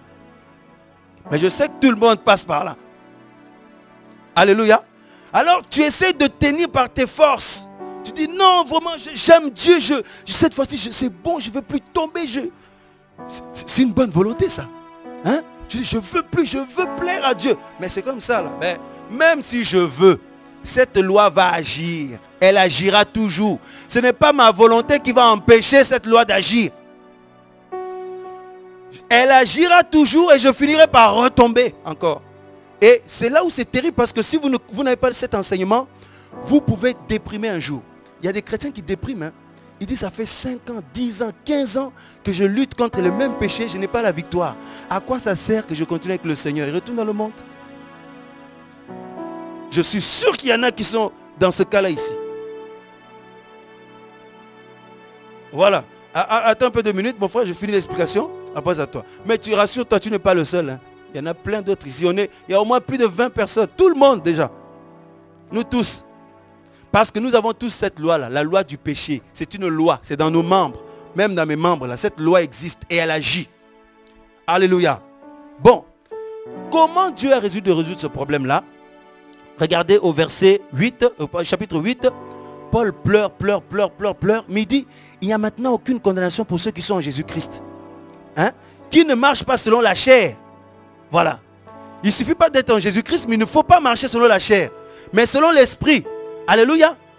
Et regardez le verset 2. C'est là où ce problème est résolu. Bon là, j'ai vraiment fait vite. Hein? J'ai sauté les étapes. En effet, la loi de l'esprit de vie en Jésus-Christ m'a affranchi de la loi du péché et de la mort. En fait, pour résoudre ce problème-là, le Seigneur, pour résoudre ce problème, il a annulé la loi du péché. Comment il a fait? Il a éliminé à la croix et il, a mis en place une autre loi qui est supérieure, qui est plus excellente, qui est plus élevée. La loi de l'esprit de vie. Quand vous rentrez dans la loi de l'esprit de vie, eh bien là, vous, vous, êtes en vainqueur en fait. Les liens ancestraux, tout, tout ça c'est fini. Les faiblesses, toutes ces maladies-là. Vraiment, je, hein, je fais vite. Mais vraiment, c'est quelque chose que... Voilà. Quand vous comprenez ça, vous rentrez dans la loi de l'esprit de vie, tout est résolu. Hein? Tout est résolu. Mais pour rentrer dans la loi de l'esprit de vie, il faut prier que Dieu t'ouvre l'intelligence. Parce que tu peux écouter la parole, mais tu ne le comprends pas. Elle ne pénètre pas ton cœur, cette parole. Donc le Seigneur a annulé la loi du péché qui agit dans nos membres. Il a mis en place une autre loi qui est supérieure. Amen. Bon. Lorsque dans notre marche de tous les jours, quand on était dans le, dans le monde déjà, lorsqu'on est venu au Seigneur, c'est le sang du Seigneur qui a agi pour pardonner nos péchés. Nous sommes d'accord Pour nous purifier de tout péché. Parce que dans Lévitique 17, on dit que le sang sert pour l'expiation. Voilà. Même aujourd'hui, en marchant avec le Seigneur, chaque fois que tu peux trébucher, c'est quand, tu demandes pardon, c'est le sang qui intervient. Quand tu demandes pardon sincèrement, le sang de Jésus-Christ intervient pour expier ton péché. Mais le problème de sang ne va pas résoudre, donc le sang ne va pas résoudre le problème de l'origine de ce péché-là. Vous comprenez? Pour résoudre le problème de l'origine de ce péché, il faut la croix ou la mort. Donc, le sang du Seigneur coule à la croix pour expier nos péchés, mais sa mort maintenant intervient pour résoudre le problème de notre vieille nature et de l'héritage adamique que nous avons dans le sang. Alléluia. Et notre délivrance consiste à comprendre ça. Si on le comprend, si on le reçoit, ça pénètre nos cœurs. Bien aimé, tu vas marcher dans la gloire de Jésus-Christ. Mais quand on voit les gens tomber, se relever, tomber, se relever, même s'ils sont bien intentionnés, ils n'ont toujours pas compris ça. Et je l'explique comme ça, là, on peut dire, ah ben j'ai compris. Mais en fait, tu as compris intellectuellement. Mais il faut que ça pénètre ton cœur. Il faut que ça rentre dans ton cœur. Alléluia. Et ceux qui marchent dans la loi, la nouvelle, donc la loi la plus excellente, donc en Christ, la loi de l'esprit de vie marche dans une position de victoire sur le péché, sur le diable et les démons, sur la chair, sur le monde, sur tout. Et ils vivent le règne de Dieu. Et la gloire de Dieu les accompagne partout. Quand vous voyez Dieu utiliser les gens puissamment comme ça, là, ne vous dites pas, mais qu'est-ce qu'il met celui-là Mais comment ça se fait que lui et pas nous autres? Bien aimé, tout dépend de la, dimension de, ta relation avec le Seigneur. Alléluia de ta foi vis-à-vis de, cette, œuvre glorieuse que le Seigneur a fait. Mais tant que tu ne le comprends pas, ton problème va perdurer toujours. Tu tombes, tu demandes pardon, le Saint intervient. Tu tombes, tu demandes pardon, le Saint intervient. Tu tombes, tu demandes pardon, le Saint intervient. Mais tant que tu ne passes pas par la croix, tu peux passer 10 ans comme ça, tu tombes, tu te rêves, tu tombes, tu te rêves. Et la difficulté vient d'où? C'est que le diable va commencer à t'accuser maintenant. Mais toi, enfant, comment tu, Combien de fois tu es tombé? Si je demande aujourd'hui, dans une journée, combien de fois on demande pardon à Dieu? Dans une journée. Dans une semaine. On tombe, on se relève, on tombe, après le diable commence à t'accuser. Et c'est du harcèlement. Hein. Si tu n'es pas ferme là, tu baisses les bras. Et c'est le cas de beaucoup de personnes. Et on réagit comme si le Seigneur a fait les choses à moitié. Jésus ne fait pas les choses à moitié. S'il est venu pour te sauver, il a accompli l'œuvre parfaitement. Alléluia. Il vient pour non seulement te faire du bien avant sa mort, il vient résoudre les problèmes extérieurs, mais il vient pour que son sang coule, pour résoudre le problème de péché. Sa mort maintenant intervient pour résoudre le problème de notre héritage. Et sa résurrection nous amène dans une nouvelle vie, dans une vie glorieuse avec le Seigneur. Tout se passe là. Beaucoup de pasteurs, beaucoup d'apôtres, de, prophètes, tout ça, n'ont pas compris ça. Ils marchent dans une vie de défaite tous les jours. Il y en a qui finissent par se convaincre, ben oui, ben c'est peut-être je suis vraiment, euh, je suis voleur, je, suis né voleur, je finirai voleur, voilà, il n'y a rien à faire. Puisque tous les jours tu tombes toujours dans la même chose. Toi-même tu sais la chose dans laquelle tu tombes toujours. Alléluia. Et le diable dit, ben oui, ben c'est comme ça que tu es. Alors tu veux te lever pour me combattre? Tu veux te lever pour, chasser? Tu vas te lever comment? Il te harcèle, tu es accusé déjà, tu es à plat. Parce que quand tu tombes, tu as honte de... Non seulement déjà le, Seigneur euh, n'est pas content de toi, mais le diable vient et dit, comment hier tu as écouté une parole merveilleuse, tu es parti à la réunion de réveil là-bas. Tu as crié, tu as sauté, mais regarde, tu es tombé dans les mêmes choses. Reste par terre là, tu oses venir m'attaquer? Le diable te dit, toi, tu oses me chasser, toi, tu oses te lever. Reste là, tu n'es qu'un pécheur, reste là. Et on est à plat. Alors, on fatigue les serviteurs parce qu'on vient comme ça, on croit que, priez pour moi, on croit que c'est comme ça, ça va se résoudre. Mais il peut prier pour toi, mais le sang qui est en toi là, c'est toujours là. La chair est toujours là. Tant que tu ne comprends pas ça, même apôtre Paul, s'il ressuscitait pour prier pour toi, si tu n'as pas compris ça, ton problème va continuer. Alors, les dirigeants aussi qui n'ont pas compris cette chose-là, eh bien, il s'obstine à prier pour les gens. Il s'obstine, s'obstine. Ça, je bénis le Seigneur. Ici, là. Alléluia. Pour la sensibilité de l'esprit. Hmm? Comment Dieu conduit son serviteur de, donc, hein, de temps, euh, voilà, d'une étape à un autre. Parce qu'il il obéit à ce que Dieu lui dit. Pendant un temps, Dieu dit maintenant c'est bon, passe à autre chose. Il obéit. Parce que s'il ne passe pas, il va mourir. Beaucoup de personnes meurent. Pourquoi? Parce qu'ils veulent à coûte que coûte résoudre tout ça. Donc on veut prier pour les gens, on veut des méthodes. Voilà comment certains pasteurs commencent à passer avec des méthodes bizarres. Buvez deux verres d'huile par jour, comme il faut faire une onction d'huile, bois de l'huile. Tu, peux, tu peux te laver, euh, tu mets de l'huile dans, voilà, tu te laves avec de l'huile, tout ça. Donc on commence à trouver des techniques et des techniques. On dit aux gens, jeûne pendant 30 jours, après on va prier pour toi, ça va se résoudre. Bien aimé, si tu n'as pas compris ça là, même si tu jeûnes 30 jours à sec, compris pour toi, les démons vont partir, c'est bien. Mais la loi du péché qui est dans tes membres va agir encore. Et quand elle agira, tu tomberas. Est-ce que vous comprenez? C'est très grave. Hein? C'est quand même grave. De, bien aimé, on traîne avec nous une loi de péché dans nos membres. C'est pour ça Paul dit que Dieu a envoyé son fils Jésus dans une chair semblable à celle du péché. Ce la chair de Jésus n'était pas celle du péché. C'est une chair semblable. Alléluia. Donc je vais m'arrêter là parce que c'est vraiment très long. C'est vraiment très long. Donc tout dépend de notre compréhension de, ces choses. Alléluia. Oui, tu veux poser une question? Mais le temps est passé déjà vite là. Hein? Bon, tu peux poser vite. Tu as compris mon frère toi? Un tout petit peu. Ok, ok. Hein? Oui, tu peux, la poser vite. Bah, est-ce à dire que moi, j'ai l'impression qu'à chaque fois qu'on prie, c'est les autres qui reçoivent l'esprit et pas moi. Je ne sais pas pourquoi ça, se passe, mais j'ai l'impression que tout le monde reçoit l'esprit, sauf moi. Est-ce à dire que je ne suis pas encore prête ou...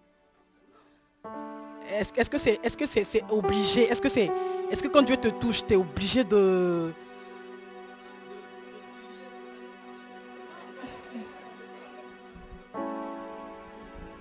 On a fini déjà. Hein. Quand Dieu nous touche, on n'est pas obligé de crier, sauter. Non. Non, non, non, non, non. En fait, euh, chacun réagit par rapport à sa sensibilité. Il y en a qui vont pleurer, d'autres qui vont crier, d'autres qui vont sauter, d'autres sont calmes, mais ils ont reçu quand même l'Esprit. Mais recevoir l'Esprit, c'est quand Jésus-Christ est dans nos vies. Jésus-Christ est en nous comment? Par son Esprit. Donc il ne faut pas dire, bon, j'ai reçu Jésus, mais je n'ai pas reçu l'Esprit. Non, mais Christ est en toi par son Esprit. Hein? Vous comprenez? Donc il n'y a pas, y a pas un, schéma où tu dois absolument qu'il y ait quelque chose pour que tu saches que là j'ai reçu l'Esprit. Non, quand tu reçois Jésus-Christ, tu as reçu l'Esprit. Parce que le Saint-Esprit, c'est l'Esprit de Jésus. Hein? Amen? Donc c'est trop, on arrête là parce que ça peut être très long. que Dieu vous bénisse. Amen.